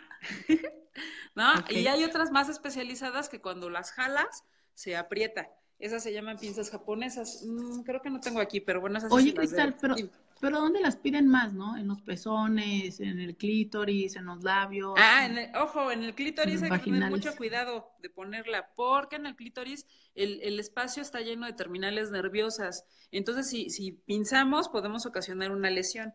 Entonces, de preferencia ahí no las pongan. Hay mucha parte, en, eh, mucho espacio en la vulva, en donde se pueden colocar en los labios menores, en los labios mayores, ¿no? O alrededor de la vulva. Este, y pues dejemos el clítoris para, para otro tipo de juegos, ¿no? El placer que se siente. Ajá, sobre, todo porque sí es peligroso. En los hombres... En los eh, muffins se puede colocar en cualquier parte, se puede colocar en escroto, se puede colocar en el, en el tronco del pene, en el glande. Obviamente también hay que tener cuidado a la hora de retirarlo. Yo conozco casos de que les retiran de un golpe la, la pinza del glande y ha salido hasta con el pedacito, ¿no? Entonces hay que oh tener cuidado. Sí, hay que tener cuidado. Sí, y, Ojo. cuidado con el frenillo, ¿no? Y el prepucio también. Así es. Ojo, eh, la, la cosa con la pinza, al momento de que la colocas sí te, sí te duele, pero después se deja de sentir. Esto es porque la sangre se agolpa, eh, eh, más bien deja de pasar en, donde pones la, pinza, entonces pues ya no se siente. Pero cuando la retiras, la sangre regresa y pues es lo que provoca dolor. Eso es lo, chido de, de, los juegos con las pinzas. Oye, ¿no tienes por ahí de las pinzas estas con el hilo?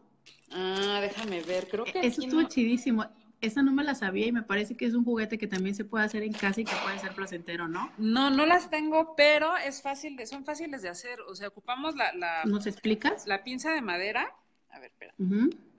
Por ejemplo, como esta. ¿No? Oh, se quebró. Bueno, una que, que no se quiebre. la pinza de madera, entonces lo que hacemos es pasarle un, un cordel por aquí en medio. ¿no? Ok y eh, vamos atando una pinza tras otra. Entonces eso se vuelve un cierre. Colocamos todas las pinzas en el cuerpo, ¿no? Vamos a pinzar todo el cuerpo y luego con el cordoncito que le atamos lo jalamos y pues de un, de un solo golpe va a salir toda la pinza y pues ya tenemos nuestro cierre y, y, provoca otro tipo de sensación. Y eso es súper casero, súper barato, todo lo podemos hacer. Sí. Y sobre todo esas pinzas de madera no, no, no ahorcan tanto, ¿no? Como otras que pueda haber. No empiecen con las de plástico, no empiecen con esas. Es como la sí, de, hecho, es una si van comenzando, eh, buscar que las pinzas no tengan dientes. Eh, porque los dientes, pues, ¿no? Provocan otro tipo de, sensación. Yo conseguí estas en una tienda de esas eh, de 15 pesos, 17 pesos, ya ni sé en cuánto están. Si se ven, pues están grandes, ¿no? Pero como abarcan un, un, espacio bastante amplio, no lastiman tanto y son, este, pues tienen protección de hule y no sé qué tanta cosa. Y estas son pinzas para oficina, ¿no? Entonces, Eso está bueno para el pene, ¿no? Ajá, sí, sí, sí. Entonces, te digo, hay, hay de muchos tipos. De las de plástico que decías tú, también tengo, déjame te enseño una. Ah, a ver. ¿Sabes que son como de alambre forrado? Mira. Uy, estos apretan un chorro. Eso es de plástico. ¿No? La cosa es que este tiene, tiene aquí el dispositivo para que haga la, pinza, entonces es mucho más dura y aparte esta tiene dientes, no sé si se alcanza a distinguir. Ajá. ¿No? Entonces también hay que tener cuidado. ¿No? Ahí por ahí pregunta Diana que si existe riesgo de usar pinzas de papelería. Las pinzas de papelería son muy agresivas, entonces esas nada más hay que ocuparlas ya cuando tenemos cierto grado de, de tolerancia al dolor o pues somos medio masoquistas. Las pinzas de papelería son estas. No, no, si esas me duelen en los dedos, ya quiero saber cómo va a sentir en otra parte del cuerpo. Una buena forma de probar una pinza es con nosotros mismos en alguna parte del cuerpo. Regularmente, por ejemplo, déjame ver si puedo acomodar esto. Ah, por ejemplo, pinzar. Ay, espera, es que no sale. ¿No? Colocarla Ah, y más o menos nos va a dar, nos va a dar como una idea de lo que podría sentirse. Ojo, lo que ustedes sientan no es lo que va a sentir la persona sumisa, pero nos puede dar un parámetro. También hay otras personas que prueban las pinzas en las orejas, en el lóbulo de la oreja, ¿no? Pinzan esta ah, parte. Yo ahorita no lo voy a hacer porque pues traigo los aretes, pero este, en esta parte también puede darles como un parámetro de qué tan fuerte está. Ok. Nos preguntan aquí de agujas, pero me parece que las agujas ya son también un juego como más especializado, ¿no? O sea, no es tanto como que... De hecho, yo conozco muchas personas que viven BDSM y no, no, las agujas no la practican, ¿no? Mira, eh, la cuestión con las, con las técnicas o con las prácticas que hay es que muchas veces cuando nosotros vemos sangre o cuestiones que tengan que ver ya con lesionar el cuerpo de otra forma, a veces se nos hacen muy extremas. En mi caso, a mí el juego con agujas me encanta, es de mis prácticas favoritas. Este, y curiosamente cuando yo comencé era un límite, ¿no? Ya después con el paso del tiempo dije, ah, bueno, está chido, sí me gusta y me gusta mucho ponerlas, ¿no? Este, mira, de hecho aquí tengo. Ahí se ve.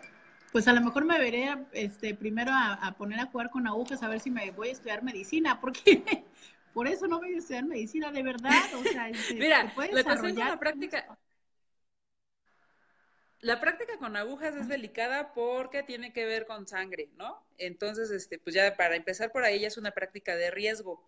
Entonces, bueno, se necesitan guantes, se necesita que el lugar esté limpio para no provocar una infección, pero la sensación a veces es mucho menos dolorosa que una nalgada, por ejemplo, ¿no? Y es, es lo que mucha gente no, no, sí, pareciera que no, pero sí es mucho menos, ¿no? Lo que tienen las agujas específicamente hablando es que las relacionamos con enfermedad. Cuando tú te enfermas, ¿qué te ponen? Pues una inyección, ¿no? Y la inyección es porque estás enfermo y porque te sientes mal y no está chido. Entonces, por eso es que, pues, que lo relacionan con eso y dicen, ay, no, agujas, no. O que te sacan sangre. Ajá, pero bueno, es otro juego. O sea, eh, eh ¿Pero de verdad duele menos que una nalgada? Sí, sí. Eso voy a pensar la próxima vez que me saquen sangre. sí, al final recordemos que, que cuando estamos jugando, por ejemplo, con agujas, también estamos en un contexto erótico. ¿No? Entonces, eh, pues el contexto erótico hace que las sensaciones sean diferentes. No nos están poniendo la aguja porque nos sintamos mal, sino porque nos estamos sintiendo bien. Ok, ok. Eh, ¿Qué otras cosas te piden? ¿Qué otras cosas es de lo más común que te piden? Ah, pues me piden mucho em, eh, quitar sentidos, ¿no? a través de, de, pues, de vendas, de también quitar lo que es que puedan hablar. Por ejemplo, ah, sí, cierto, hablamos de las Gog Ball. Aquí hay una. Ajá. ¿No? Esta pues la colocan, ajá, y pues ya la persona no puede hablar, no puede decir absolutamente nada, y hay personas que también les excita pues que se les escurra la baba. ¿No? Entonces, sí, también hay. A mí en lo personal los juegos con saliva no me gustan, pero pues hay gente a la que sí, y que lo que está buscando a través del gag pues es precisamente la salivación y también se vale. ¿No? A ver, aguántame, aguántame, aguántame, espérame. ¿A quién le gusta la saliva? ¿Al, sumiso o al dominante? A los dos, puede ser a los dos. Hay personas, es que hay muchísimas prácticas, o sea, para que te des una idea, yo conozco también una domina, no es de aquí, es una domina argentina, Esa domina es de, de eh, domina profesional, o sea, le pagan por las sesiones. Y ella tiene un, un sumiso que específicamente la busca cuando le da gripa. ¿Para qué crees? ¿Para que le salgan los mocos o qué? Sí. Ay, no, no. Ah, sí, ese es el que baño verde, ¿no? Beso verde, una. Ah, son lluvias, lluvias verdes, hay diferentes tipos de lluvias también. Pero bueno, o sea, cada quien sus gustos y mientras no dañen a otra persona, pues se vale, ¿no? Sobre todo eso, que sea consensuado y que no dañe a un tercero, eh, pues ya las prácticas se, se, se, valen, ¿no? Este no, esa del baño verde no me gustó. A ver, ¿qué sigue? a mí tampoco. A mí tampoco. Eh, a ver, ¿qué tal? A ver, hablando ya de baños, ya que entramos al baño, Oye, este, ¿qué onda con los, con este, la lluvia dorada? ¿Qué tanto es que la piden? Pues esa la piden sobre todo sumisos. Eh, bueno, por lo menos a mí me ha tocado más que me la pidan sumisos, ¿no? Que no es otra cosa más que pues orinar a la persona que está como, como sumisa. A veces también la, la, la toman, la beben, y pues hay veces que no, hay veces que solamente es eh, el baño, ¿no? Como a veces lo toman como bautizo, como que ya es parte, eh, ya son propiedad tuya, es como, como pues lo piden. Dependerá mucho de la fantasía, ¿no? Igual, o sea, hay dominas que agarran la orina, la envasan y pues se la mandan a los sumisos y pues los sumisos son felices, a ellos son los que les gusta, ¿no? ¿A poco? Sí, sí, sí. Mira, en eso a trabajar. Oye, fíjate que no haya pensado es, esa situación interesante de entonces cuando tú orinas a alguien, pues es como cuando van y orinan territorio, ¿no? Eso es como la, forma de, ya eres mío. Que esa es una situación muy interesante que también se da en el mundo BDSM con los collares, ¿cierto? Así es. Sí, el, collar significa pertenencia, ¿no? Entonces, pues si tú traes un collar eh, que tiene un contexto BDSM, significa que le perteneces a alguien. Es como, mm, se podría traducir como a lo mejor un anillo de compromiso o un anillo de bodas. ¿No? Dependerá este, pues también del significado. Hay gente que no, hay gente que solamente se los pone porque les gusta cómo se ven y ya, también se vale, ¿no? Hay gente que pues me encantó, me, me, encantó, Fernanda trae en el cuello y en cada una de las extremidades. Así es. ¿Algún significado importante, diferente? Pues eh, lo que pasa es que, mira, eh, históricamente hablando, a los esclavos se les colocaban diferentes em, collares, grilletes y tobilleras para significar pues, eh, que pertenecían a un amo, ¿no? Por ejemplo, eh, ya conforme el esclavo se veía que era fiel al amo, se le iban retirando cosas. El primero lo que se le retiraba era la parte de los tobillos, ¿no? Porque pues bueno, si te tienes en los tobillos es difícil que corras, entonces pues ya si te los quitan quiere decir que no vas a correr, que te vas a quedar ahí. Después se quitaban los de las, los de las muñecas, ¿no? Eh, después se quitaba el del cuello y al final lo único que se les dejaba era un anillo, de hecho, el anillo de bodas es un símbolo de esclavitud, ¿no? Que bueno, ya ahorita está romantizado y bueno, ya es otra cosa. Pero también dentro del BDSM hay un anillo que se llama anillo de O. Es como un grillete chiquito que se pone en el dedo y pues bueno, también significa sumisión. En el caso de Fernanda, ella trae eh, collar, trae tobilleras y trae, eh, digo, muñequeras y tobilleras también. Ese es un, un collar que se llama collar infinito. El collar eh, se cierra y solamente con una llavecita que trae el, dominante, en este caso Marqués, se puede abrir, ¿no? Entonces, pues bueno, son significados. Oye, ¿y cómo, cómo es ese anillo? El anillo de O, no, no tengo aquí el mío, pero bueno, es un anillito que trae un grillete. Es como un grillete, eh, trae, haz de cuenta, el anillo, luego trae una bolita y luego como una argollita, ¿no? Entonces, este se coloca... Pues, de O. Ajá, eh, se le nombra anillo de O porque eh, la primera vez que aparece es en un libro que se llama Historia de O. No sé si lo, conoces. Historia de O es como la base de, de, de donde se obtuvieron muchos símbolos del BDSM que actualmente todavía se utilizan. En Historia de O, en el libro, se utiliza un anillo que lo describen con un trisquel. El trisquel también es un, un, símbolo importante dentro del BDSM. Y en la película de Historia de O ya se ocupa el anillo con el grillete. ¿No? Entonces, este, pues de ahí es de donde viene el, símbolo. Oye, y entonces, este, bueno, estábamos en lo de las, en lo de los baños, ¿no? Que es como las lluvias. Eh, bueno, eh, según, según aprendí aquella primera vez que, que aprendí de, alguien, ¿no? Decía acerca de lo importante que había, del cuidado que había que tener cuando eh, la orina iba a ser, pues precisamente ingerida, ¿no? Es como que quienes están eh, a cargo o quienes son dominan, dominas, no dominos, tendrían que tener cuidado, por ejemplo, en su alimentación o situaciones que puedan ser de higiene porque la persona pues la, va a tomar, ¿no? creo que eso es algo bien importante. Es como si vas a hacer este tipo de juegos con tu pareja, pues asegúrate, mijito, que no tengan infecciones, no sé, vaginales, de orina o gonorrea o cosas así que de verdad es que no, no, no hay. Sí, para que transportarlas a otro lugar, ¿no? Sí, y tú lo vas a ingerir, ¿no? Al final. Ojo, también es, es importante decir que todos los juegos BDSM, no solamente las lluvias, vienen una parte de responsabilidad, ¿no? De, de quien lo esté jugando. O sea, eh, tanto el dominante tiene responsabilidad con lo que está haciendo, con aplicar bien las técnicas, como también el sumiso eh, asumir la parte de responsabilidad que le toca. Si el sumiso sabe que la práctica que le están haciendo está mal y no dice nada, es responsabilidad del sumiso lo que está pasando.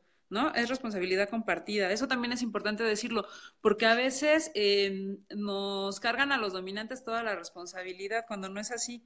O sea, cada quien es responsable de uno. ¿no? Entonces, pues sí, decirlo. Y en las lluvias, pues bueno, es doblemente importante. Ahorita mencionabas lo de, lo de la orina, que puede eh, traer, eh, pues sí, enfermedades. ojo, la orina, la orina sale em, estéril.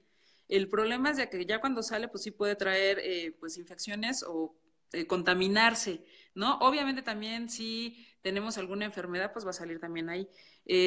ojo, de preferencia, si van a jugar con orina, que no lo hagan con la primera orina del día. Eso es importante. Justo eso me iba a referir, que sí, o sea, la orina puede ser por sí misma no dañina, el problema es que duramos horas y entonces se queda ahí estacionada en la vejiga y las, las mini bacterias que tiene, pues por supuesto se fermentan, por así decirlo, y creo que también en ese momento era como tener cuidado con tu alimentación, ¿no? O sea, no abusar de las carnes rojas, porque por supuesto eso genera más toxina, del alcohol, sino tratar de tener una alimentación, eh, pues... Eh, un poquito, diríamos ahorita, más orgánica, ¿no? Y a lo mejor hasta incluso más frutal, porque entonces eso va a, ingerir en lo que tiene que ver con el sabor y el olor. Así es, así es. Sí, hay que tener cuidado y no solamente con esa lluvia, o sea, recordemos que hay varias, varias lluvias, ¿no? Por ejemplo, la lluvia roja que tiene que ver con sangre, pues es todavía también una actividad de, de mucho riesgo.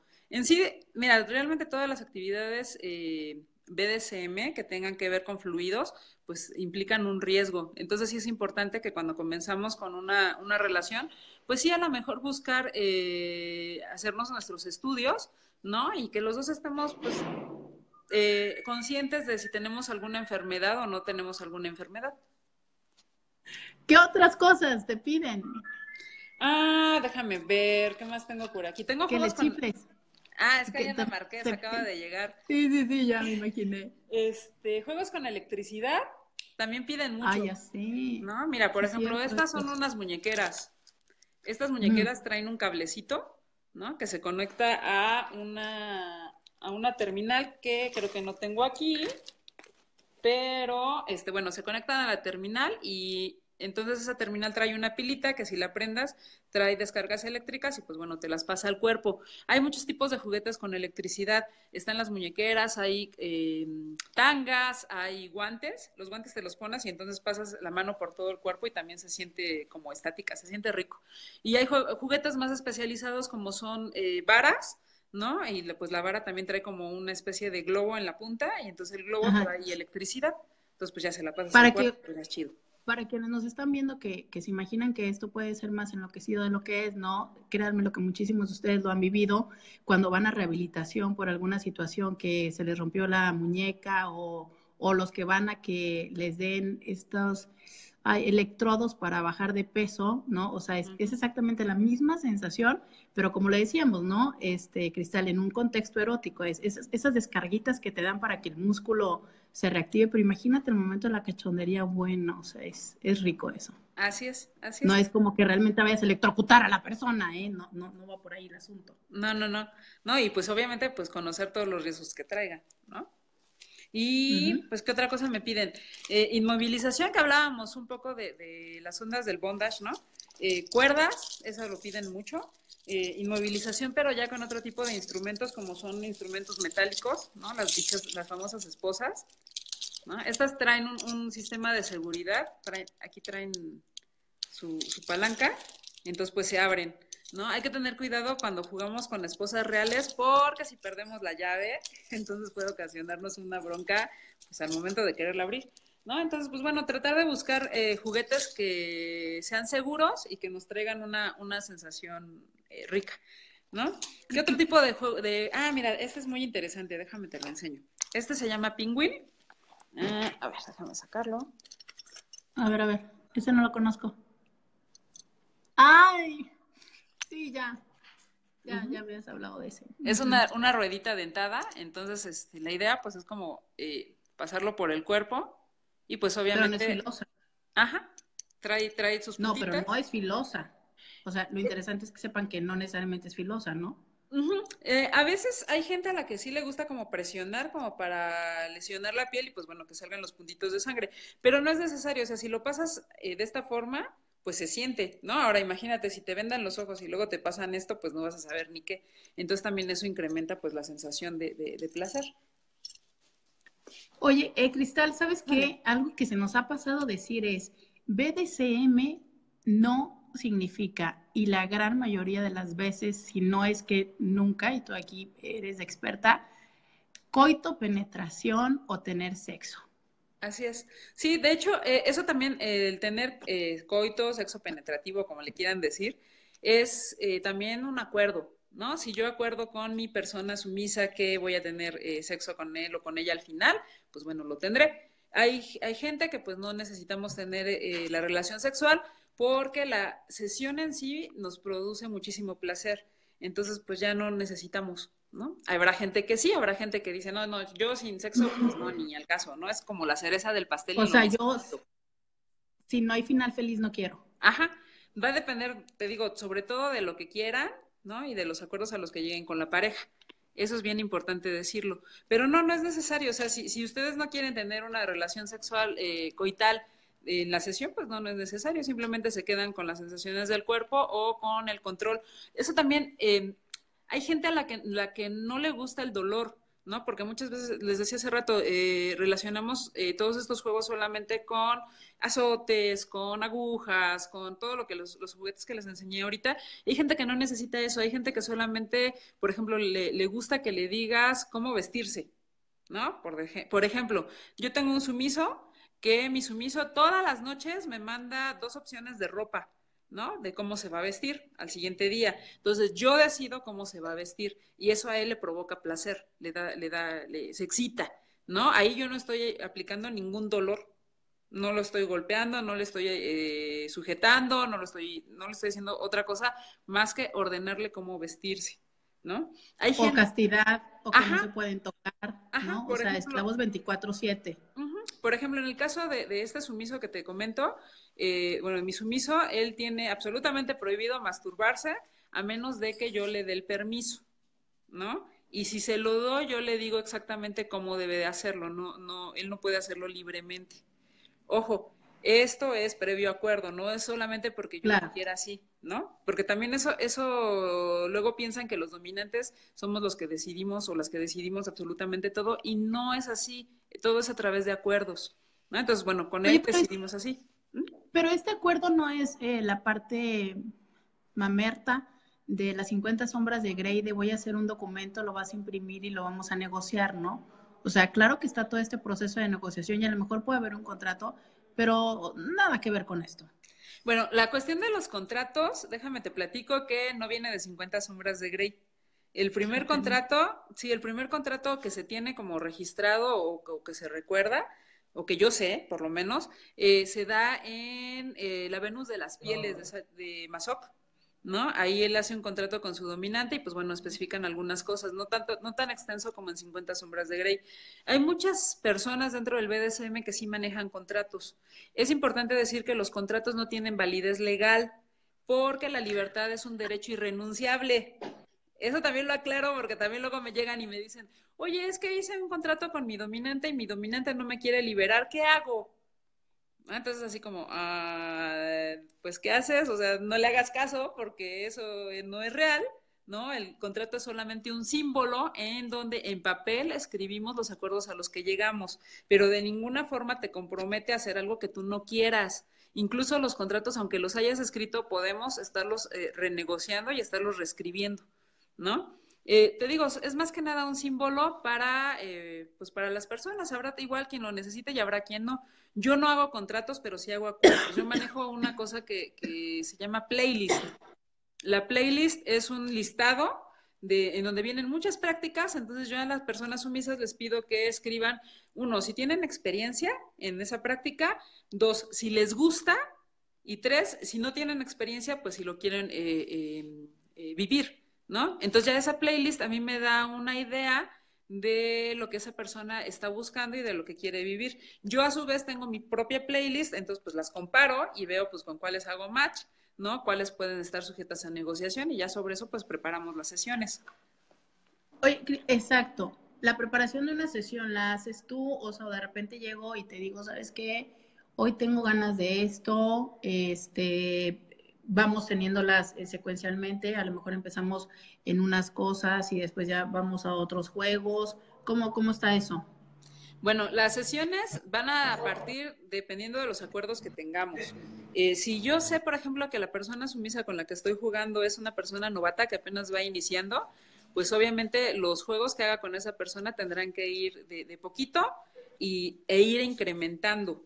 ¿No? Eh, no voy a empezar con algo que, que, se pueda considerar extremo, porque pues mi objetivo es que la persona vaya aprendiendo y vaya entendiendo y vaya sintiendo. Y también me diga a mí, ¿sabes qué? E, esto sí me gusta, esto no me gusta, este, pues a lo mejor podemos jugar por aquí, por allá, y ya sobre eso, pues incrementar las sesiones.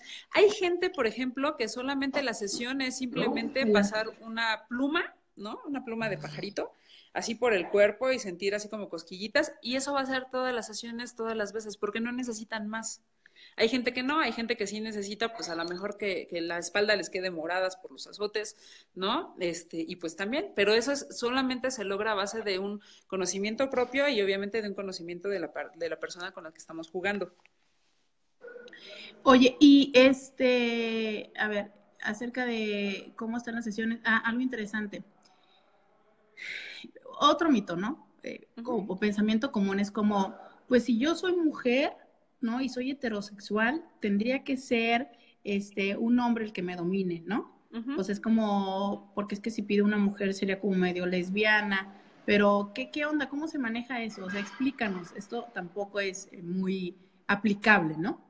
Es que, mira, ahí va a depender mucho también de lo que esté buscando uno. ¿No? Por ejemplo, si yo busco solamente la sensación de dolor, pues ¿qué me va a importar si es hombre o mujer el que me dé ese dolor, ¿no? Porque yo no estoy buscando... Más creativo, mejor. Claro, yo no estoy buscando a, la persona en sí, sino lo que me provoca esa persona, ¿no? Entonces, pues bueno, a mí en lo personal, pues me daría lo mismo si es un hombre o una mujer la, la persona que me lo va a aplicar. Ahora, en cuanto a orientaciones, pues sí va a depender de la orientación sexual que tengan, a lo mejor la preferencia de, si es un hombre o una mujer, ¿no? Por ejemplo, yo en mi caso, eh, yo sí me sometería o me gustaría que me aplique dolor un hombre, pero una mujer no porque a mí no me excita. Pero eso es una cuestión personal de gusto, no, no aplica a todos, ¿no? Va a depender del, conocimiento que tengan sobre, sobre ustedes, pero sí es importante también decirlo porque, por ejemplo, nosotros en, los talleres de calabozo lo hemos visto. Eh, a los talleres de calabozo vas a aprender la técnica, ¿no? Entonces, de pronto, cuando hay, eh, pues, práctica, por ejemplo, de ataduras, ¿no? Hemos visto que las mujeres, pues, no tienen problema en atarse entre ellas, ¿no?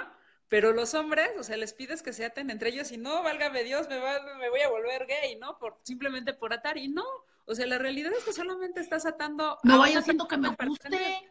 ¿Mandé? No vaya haciendo que me guste. Eso, ¿no? eso les asusta, ¿no? Cuando la realidad es que pues no, no, no te está gustando propiamente, o quizás sí, uno nunca sabe, que la otra persona sea la que te, la que te está atando, sino la sensación de la atadura. Entonces, pues no se espanten, o sea, si por ejemplo están dentro de los talleres, eh, o están aprendiendo, pues bueno, o sea, no pasa nada si alguien de su mismo sexo, este, pues los ata o les hace lo que, lo que les tenga que hacer, ¿no? Igual ustedes si lo hacen a alguien, pues tampoco pasa nada. aquí fascinada, siguiendo preguntándote, tú me dices cuando te tengas que ir, ¿eh?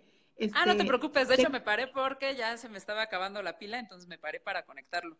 No, pero ya. Para conectar. Oye, Cristal, esta historia de no, no, no, es que a esos, ya sabes, les tocó una mamá que les dio hasta por debajo de la lengua los violaron, o sea, es que tienen una historia, están dañados, están dañaditos desde chiquitos, ¿no? Incluso una vez llegué a ver un estudio que hablaba acerca de la correlación entre los niños que sus padres los golpeaban y las prácticas BDSMeras. ¿Cierto o falso? Mm, mira, desde mi experiencia es falso. Yo tengo trabajando más o menos. O sea, a ti no te golpearon de chiquita. No. no, de hecho no. Te, te, puedo decir, tuve una infancia bastante convencional, feliz, ¿no? Eh, no, realmente no, a mí no me golpeaba mi mamá ni mi papá, ni tampoco sufrí un abuso cuando era pequeña, o sea, no. Y de la gente que yo conozco, eh, y te estoy hablando de ocho años de trabajar con calabozo, es un porcentaje muy bajito eh, de personas que han eh, sufrido un, un, abuso, ¿no? Y que a lo mejor quisieran relacionarlo con esto, pero es, ¿qué te digo? O sea, punto cinco, ¿no? De, de 100. Es muy, muy, muy pocas las personas que han sufrido abuso de pequeños. ¿Cómo es, cómo es que la mayoría de las personas descubren esta parte de, de su erotismo? Pues mira, eh, yo he, detectado como dos, eh, dos formas diferentes. Una, las personas que lo comenzamos a vivir desde muy pequeños, ¿no? Por ejemplo, en, en, mi caso yo lo comencé a hacer más o menos cuando tenía como nueve años, sí, nueve, diez años, eh, yo me autoflagelaba, ¿no? Y pues bueno, yo en ese momento obviamente no sabía que era BDSM, simplemente lo hacía porque yo lo sentía muy rico y pues me gustaba.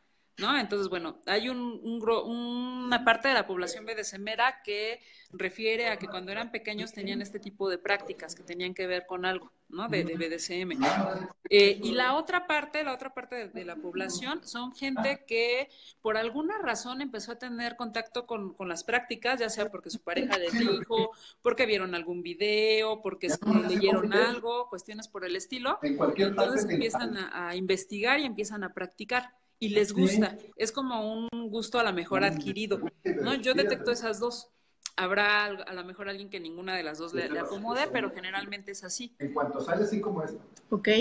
Y muchas de las veces, este, ¿qué tanto se da porque la pareja es la que empieza como a pedirles, a, a, a negociarles esta situación? O sea, ¿lo ves más que son los hombres que invitan a sus parejas mujeres o las mujeres las que invitan más a los hombres a esas prácticas? Creo que sí hay, creo que está más o menos balanceado, fíjate. Eh, por lo menos en la experiencia en el grupo, sí hemos tenido personas que se acercan, ya sea porque el marido, primero porque el marido les dice, ¿no? Entonces, eh, regularmente las mujeres están como más abiertas a probar eh, este tipo de prácticas. Y cuando la mujer es la que les dice, híjole, de repente como que se espantan, ¿no? Y dicen, no, pues es que cómo le voy a, cómo voy a azotar a mi mujer, ¿no? Y se espantan. Eh, pero no, está balanceado. Lo que sí hemos detectado es mucha gente que sabe que le gusta esto, eh, se casan, ¿no? Una persona que no sabe absolutamente nada de esto, ni tampoco tiene prácticas, y de repente pues ya no saben qué hacer ¿no? Porque pues son prácticas que el... van a estar ahí, o sea, son gustos, ¿no? Entonces el vainilla como... les aburre. Ajá, ajá. Entonces, ¿qué pasa? Cuando eh, tratan de involucrar a la pareja, pues a veces la pareja no está dispuesta a involucrarse por esta parte de que te digo de que les asusta, ¿no? Entonces, este, pues ahí la sugerencia ser, sería que si ustedes tienen este tipo de, de gustos, pues lo hablan desde un principio con la pareja para que se eviten muchos dolores de cabeza, ¿no? Eh, divorcios innecesarios. Eh, y pues bueno, más que nada buscar ser felices, ¿no? ¿Para qué te vas a involucrar con una persona con la que no vas a poder jugar esto si es una parte importante de tu vida? Y eso es, a ver, hablemos de esto, es como, híjole, no, no podemos decir que esto se cura porque no es una enfermedad, pero qué tanto es que puede ser solamente un momento de mi vida y realmente lo puedo dejar atrás, o es que siempre voy a tener ahí como el gusanito a punto de brincarme. Yo creo que, que existen... en las personas. Yo creo que existen las dos, las dos, ¿eh? Habrá gente que, bueno, se involucra en esto por una cuestión, a lo mejor si quieres verlo como de moda, o de que en ese momento pues fue lo que me gustó, lo que, lo que me hace sentir rico y por eso lo hago, pero pues bueno, si dejo de hacerlo no pasa nada y igual y en mi vida lo vuelvo a hacer, ¿no? Puede suceder. Y existen eh, pues las personas que no, las personas que realmente estos juegos son parte de su vida y que son esenciales y no pueden vivir eh, sin ellos. ¿No? Entonces, este, pues bueno, ahí hay que ser conscientes de lo que estamos buscando y de lo que queremos. por lo mismo que te decía hace rato, si nos involucramos, si, si para mí es importante estarlo viviendo y lo necesito todo el tiempo, pues me voy a involucrar con una persona que, que también eh, pues sea más o menos o esté en el mismo canal que yo, ¿no? Para que yo no sea infeliz y también la otra persona no lo sea. Oye, Cristal, tipos de personalidad. Hablemos de esto, de los que somos dominantes, los que somos sumisos y los que somos switch. Aparte ustedes utilizaron otro término aparte de switch. Yo me lo conocía más como switch. Mira, originalmente se hablaban de tres roles, ¿no? Dominante, sumiso y switch. Eh, el dominante, pues obviamente es la persona que toma el control, que domina, ¿no? Este, creo que no hay mucho para dónde irse. El sumiso, pues es la persona que eh, recibe las órdenes, eh, ¿no? El switch son las personas que podemos disfrutar de los dos roles, nos gustan los dos roles y por lo tanto nos educamos también en los dos roles, ¿no? Ojo, antes se creía que todos los dominantes eran sádicos y no es así. Hay sádicos que no son dominantes.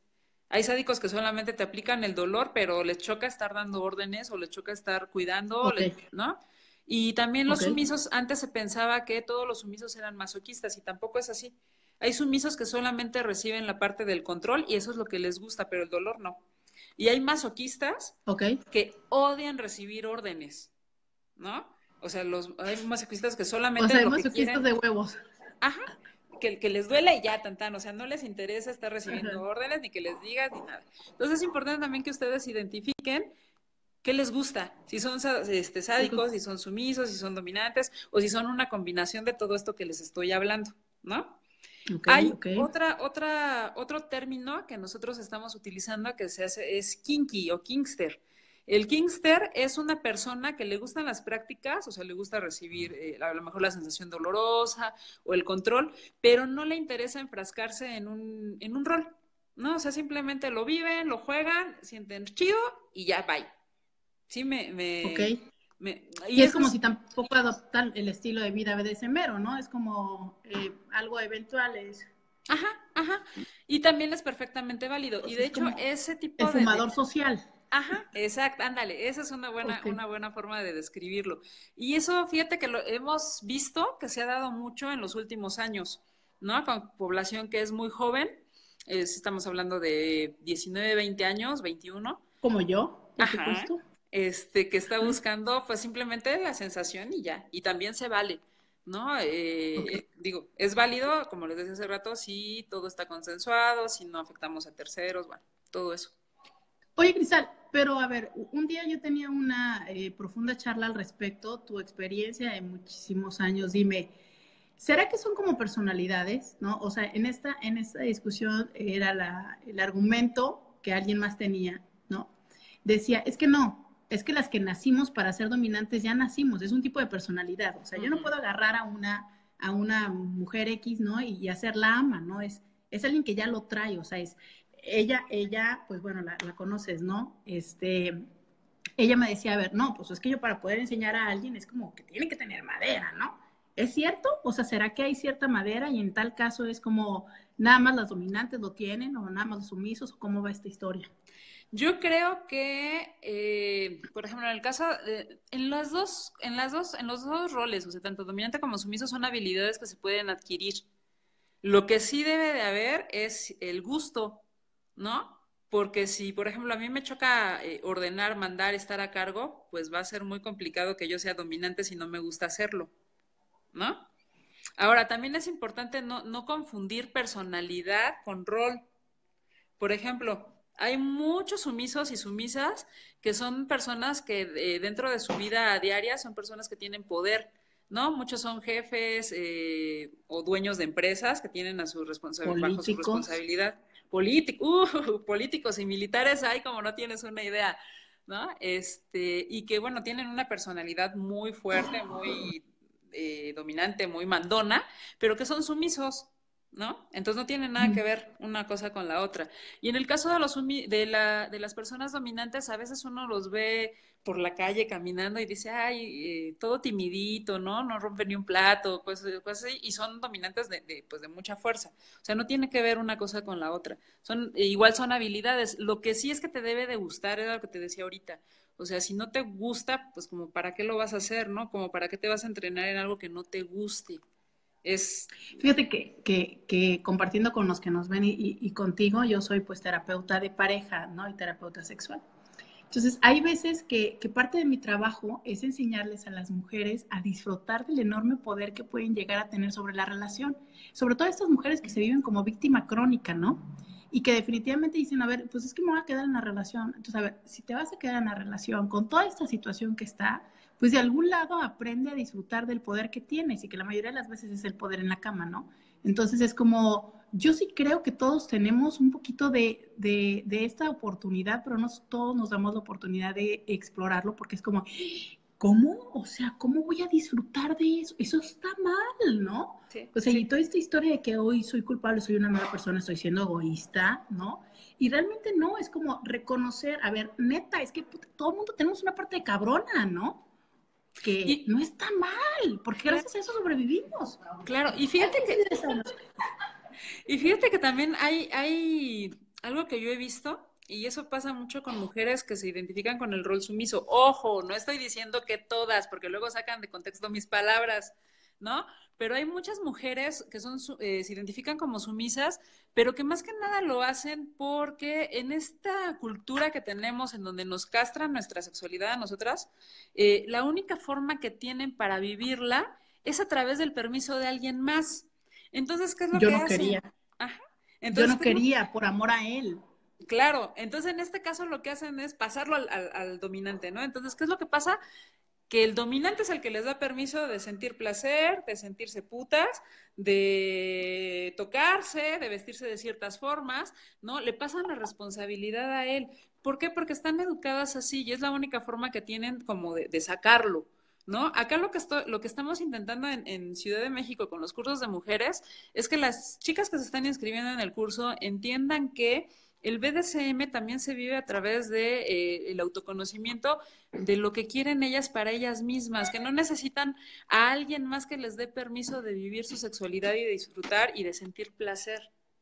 Obviamente sí deciden eh, estar eh, con el rol sumiso, que sea un rol que realmente eh, es porque les place y porque les gusta y porque sienten muy rico cuando están como sumisas, ¿no? Pero no porque sea una forma a través de la cual se den permiso de, no sé si, si, si logro explicarme. ¿No? Y eso también es algo diferente a todo lo que se había estado trabajando con BDSM. ¿No? Antes era Porque así como... es una forma de autoengaño, ¿no? Claro. O sea, este, creo que en toda situación y toda conducta humana algo importante es la responsabilidad. Entonces es, yo me responsabilizo y eso es lo, eso es lo padre de, de una relación BDSMera. O sea, es como yo estoy dándote el permiso, me estoy cediendo, me estoy entregando en este juego donde hay una regla y hay, hay, un este mutuo consentimiento, ¿no? A la otra es como, yo no quiero, yo no quiero, yo no quiero, porque tú, así como de, ruégame tantito, ¿no? O sea, es como, dime, dime. Entonces, esa parte donde abandono mi responsabilidad porque me, me cuesta mucho aceptar, y esa es una situación, uh -huh. una cosa es abandonarse el placer y otra cosa es abandonar tu propia responsabilidad, porque entonces uh -huh. es bien sencillo apuntar y decir, porque tú lo hiciste, porque tú te equivocaste, porque, claro. porque yo te amé y yo te confié todo, ¿no? Así es, así es, sí, y te digo, lo que estamos buscando es precisamente que las, las mujeres que están comenzando, que están interesadas en BDSM, pues bueno, entiendan esa parte para que puedan también tener una, una sexualidad BDSMera, por llamarlo de alguna forma, eh, responsable y placentera, ¿no? Que no dependa de alguien más, aunque el juego sea así, ojo, y, y también esto también es juego y no juego en la manera despectiva de que sea algo sin importancia. Los juegos tienen muchas reglas. Si se fijan, todos los juegos tienen reglas que se tienen que seguir para que el juego sea divertido. Por eso es que llamamos eh, o decimos que el BDSM es un juego, porque tiene una serie de reglas que nos van a llevar a que tengamos placer. ¿No? Entonces, bueno. Otra historia. Uh -huh. Una vez, una vez que pruebo ese mundo, nunca volveré a ser normal. ¿Es cierto? Bueno, para, empe no para, empezar, ¿qué sería normal? ¿No? O sea, partamos porque es normal. O, por ejemplo, yo tengo aproximadamente 14 años de practicante y pues bueno, voy al súper, voy al cine, eh, me gusta ir a tomar café con mis amigos, eh, puedo disfrutar de ver Juego de Tronos en la tele, eh, realmente pues no ando con el látigo todos lados, ni tampoco trato de dominar a medio mundo, porque pues no, no, no sé, eh, llevo una vida normal, ¿no? Simplemente lo que hago, pues, es, son gustos que utilizo para mi propia satisfacción y mi propia placer. Y no, me voy, y no me voy a meter en tu vida sexual, pero es como, y también tienes relaciones eróticas de misionero y las disfrutas, ¿no? O sea, es... Claro, así es, así es. Eh, aquí hay que tener cuidado de que el BDSM no interfiera con su vida cotidiana. Si el BDSM empieza a interferir en su vida cotidiana a tal grado que les causa ya una incomodidad, ¿no? Eh, que no los está dejando funcionar eh, correctamente, pues entonces sí hay que pedir ayuda eh, con un sexólogo, con un psicólogo de su confianza, de preferencia un sexólogo, ¿no? El sexólogo. Pues, y terapeuta sexual, que realmente tenga una mente, porque híjole, hay veces que estudian sexualidad y de todas maneras están en el hoyo, ¿eh? yo, yo, lo, acepto, yo lo acepto porque te voy a decir una cosa, ¿eh? Cuando yo estudié la primera maestría, fíjate, después de haber estudiado la primera maestría de dos años y medio de sexualidad, yo aún decía, ah, sí, pues existen los que practican el BDSM, pero esos no me llegan a mi consultorio, ¿no? O sea, y no sé dónde están, ¿no? O sea, de verdad yo decía, pues yo era la única sexóloga en Tijuana y decía, pues esos no sé dónde están porque a mí no me llegan, ¿no? Gracias, el día que conocí el BDSM, que me fui, me metí, me, oye, me di cuenta que pues no es cierto, o sea, es como, ni son enfermos, ni son raros, ni se esconden en el hoyo de no sé dónde, ¿no? Entonces, sí es importante que si vas a confiar, tu propia vida y si tienes dudas, por favor, primero asegúrate que la persona con la que vas está informada. Y ojo, también eso aplica, aplica a los practicantes de BDSM, ¿eh? Porque, pues digo, o sea, mira, BDSM no hay una verdad absoluta, ¿no? Eh, formas de ver el BDSM hay tantas como practicantes hay. Entonces, bueno, van a encontrar muchísimas corrientes de, de, que te dicen cómo debes de vivirlo, cómo portarte, incluso hasta cómo vestirte, ¿no? Pero pues no, o sea, aquí el BDSM es eh, ajustarlo a lo que te hace feliz a ti y lo que te causa placer. Y es importante también que si ustedes leen en internet o ven videos o van a talleres o, eh, cuestiones para autoeducación, también cuestionen, cuestionen lo que se les está diciendo y lo que están preguntando y se formen una, una opinión propia, ¿no? De todo lo que ven y de todo lo que leen. Oye, y qué interesante eso que dijiste, ¿eh? Neta es como que no van por la vida vestidas de cuero y, con el collar aquí, ¿no? O sea, siendo jalados, o sea, es eh, eh, las prácticas, a ver, las prácticas eróticas pues son eróticas, ¿no? Cada quien vive el erotismo en un momento de la vida, no es como que en todos los 24/7 estés eh, conectado a ese momento. Entonces, es, una práctica, es un momento de tu vida que sí es un estilo de vida, porque es como una situación donde hay que aprender mucho, pero de verdad es como, no es como que traigas un letrero por la vida y que traigas este, todo este, este tipo de parafernalia, ¿no? Que hay muchas personas que simplemente lo viven ahí y ya. Así es. Sí, y pues hay gente que solamente lo vive en, en, la alcoba, ¿no? En la recámara y cuando están con sus parejas. Hay gente que pues va a grupos, hay gente que pues sí lo vive un poquito más este, fuera de closet, ¿no? Por decirlo de alguna forma, y todas las formas son válidas. Entonces, pues bueno, que se, que se animen a hacerlo. ¿Algo más que se nos esté pasando en este curso Express BDSMero? Cristal, que de verdad este, lo he disfrutado muchísimo, todo tu conocimiento, eh, tu forma tan sencilla de explicar las cosas, eso fue algo que me encantó, este, tan natural, ¿no? Este, que desde que los conocía ya me, fascinó. ¿Algo más que se nos esté pasando compartir? Pues mira, lo único que yo les, diría es que si este tipo de prácticas les atrae, no lo vivan con culpa. Eh, a veces cuando, cuando empiezan a, jugar o a tener este tipo de prácticas, empiezan a decir, híjole, pero es que, ¿cómo me gusta que me peguen? ¿No? O ¿cómo me gusta darle nalgadas a mi pareja?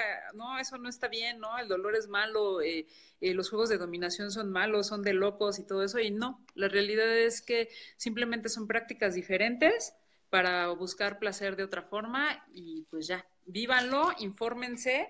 Ahora sí voy a echar mi comercial aquí. Compren el libro, este lo pueden conseguir en Editorial Porrúa, se llama 50 sombras de Fer. Está escrito por Fernanda Tapia, Marquesa Alexander y su servidora y pues es una buena guía para personas que van iniciando en esto. ¿no? Y van a encontrar todo lo básico, básico para que pues puedan vivirlo de una forma sensata, segura y consensuada. Y pues búsquenos en redes sociales, ahí andamos, eh, con todo gusto podemos contestar mensajes este, platicar con ustedes y pues si están en Ciudad de México, los esperamos en los talleres. Empezamos el 6 de enero. ¿El 6 de enero va a haber taller? El, 6 de enero. Eh, el 6 de enero reanudamos actividades con, con, dos talleres. Empieza lo que es el curso para mujeres y empieza el taller general de calabozo. El taller general de calabozo es a las 6 de la tarde y empezamos con lo que son conceptos básicos del BDSM. Entonces, este, pues si están aprendiendo, es un taller buenísimo, este, que pues deben de tomar para que empiecen a, involucrarse, ¿no? Y empiecen a aprender de una forma segura. Este, también. ¿Qué duración tiene el taller? El taller en Calabozo está en 80 pesos. Eh, realmente. ¿Pero qué duración tiene? Ah, duración, tiene una duración de tres horas. Empieza a las 6 de la tarde y acaba más o menos a las 9. Eso depende mucho de cómo esté el grupo, ¿no? Si preguntan mucho, pues nos extendemos y si no, pues no. Eh, y también, si, no es, ¿mandé? Que cuando vaya yo va a durar más de seguro, porque ya tenemos ahorita más de dos horas. Ojalá. Y si no están en Ciudad de México, pero requieren asesorías, también damos asesorías este, personalizadas eh, por eh, vía WhatsApp o vía Messenger. Eh, entonces contáctanos y pues con todo gusto podemos decirles cómo está la onda de los honorarios y todo eso y pues también se puede dar, ¿no? Entonces... Oye, Cristal, dime. El taller tres horas y es una sesión de varias, o sea, son varias semanas las que voy o es una así como de introducción y ya dependiendo cómo me va gustando, son asesorías personalizadas o cómo está esto? Mira, hay dos, dos, ahorita empiezan dos. Empieza el curso de mujeres. El curso de mujeres sí es un, son 12 módulos seriados en donde pues sí es necesario, ¿no? Que, que vayan a los 12 módulos porque llevamos un, un, crecimiento a través de los talleres. Los talleres de calabozo, que son los que son a las 6 de la tarde, esos no están seriados, hay de muchos temas, entonces te digo, empezamos el 6 de enero con conceptos básicos, luego a mediados de enero tenemos uno de cera, y luego en febrero tenemos uno de bondage, y así son temas salteados. Entonces, para los de calabozo en general, pues pueden ir al, al que ustedes gusten y al que les llame la atención.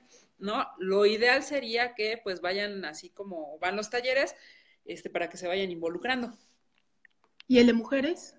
El de mujeres es, es seriado.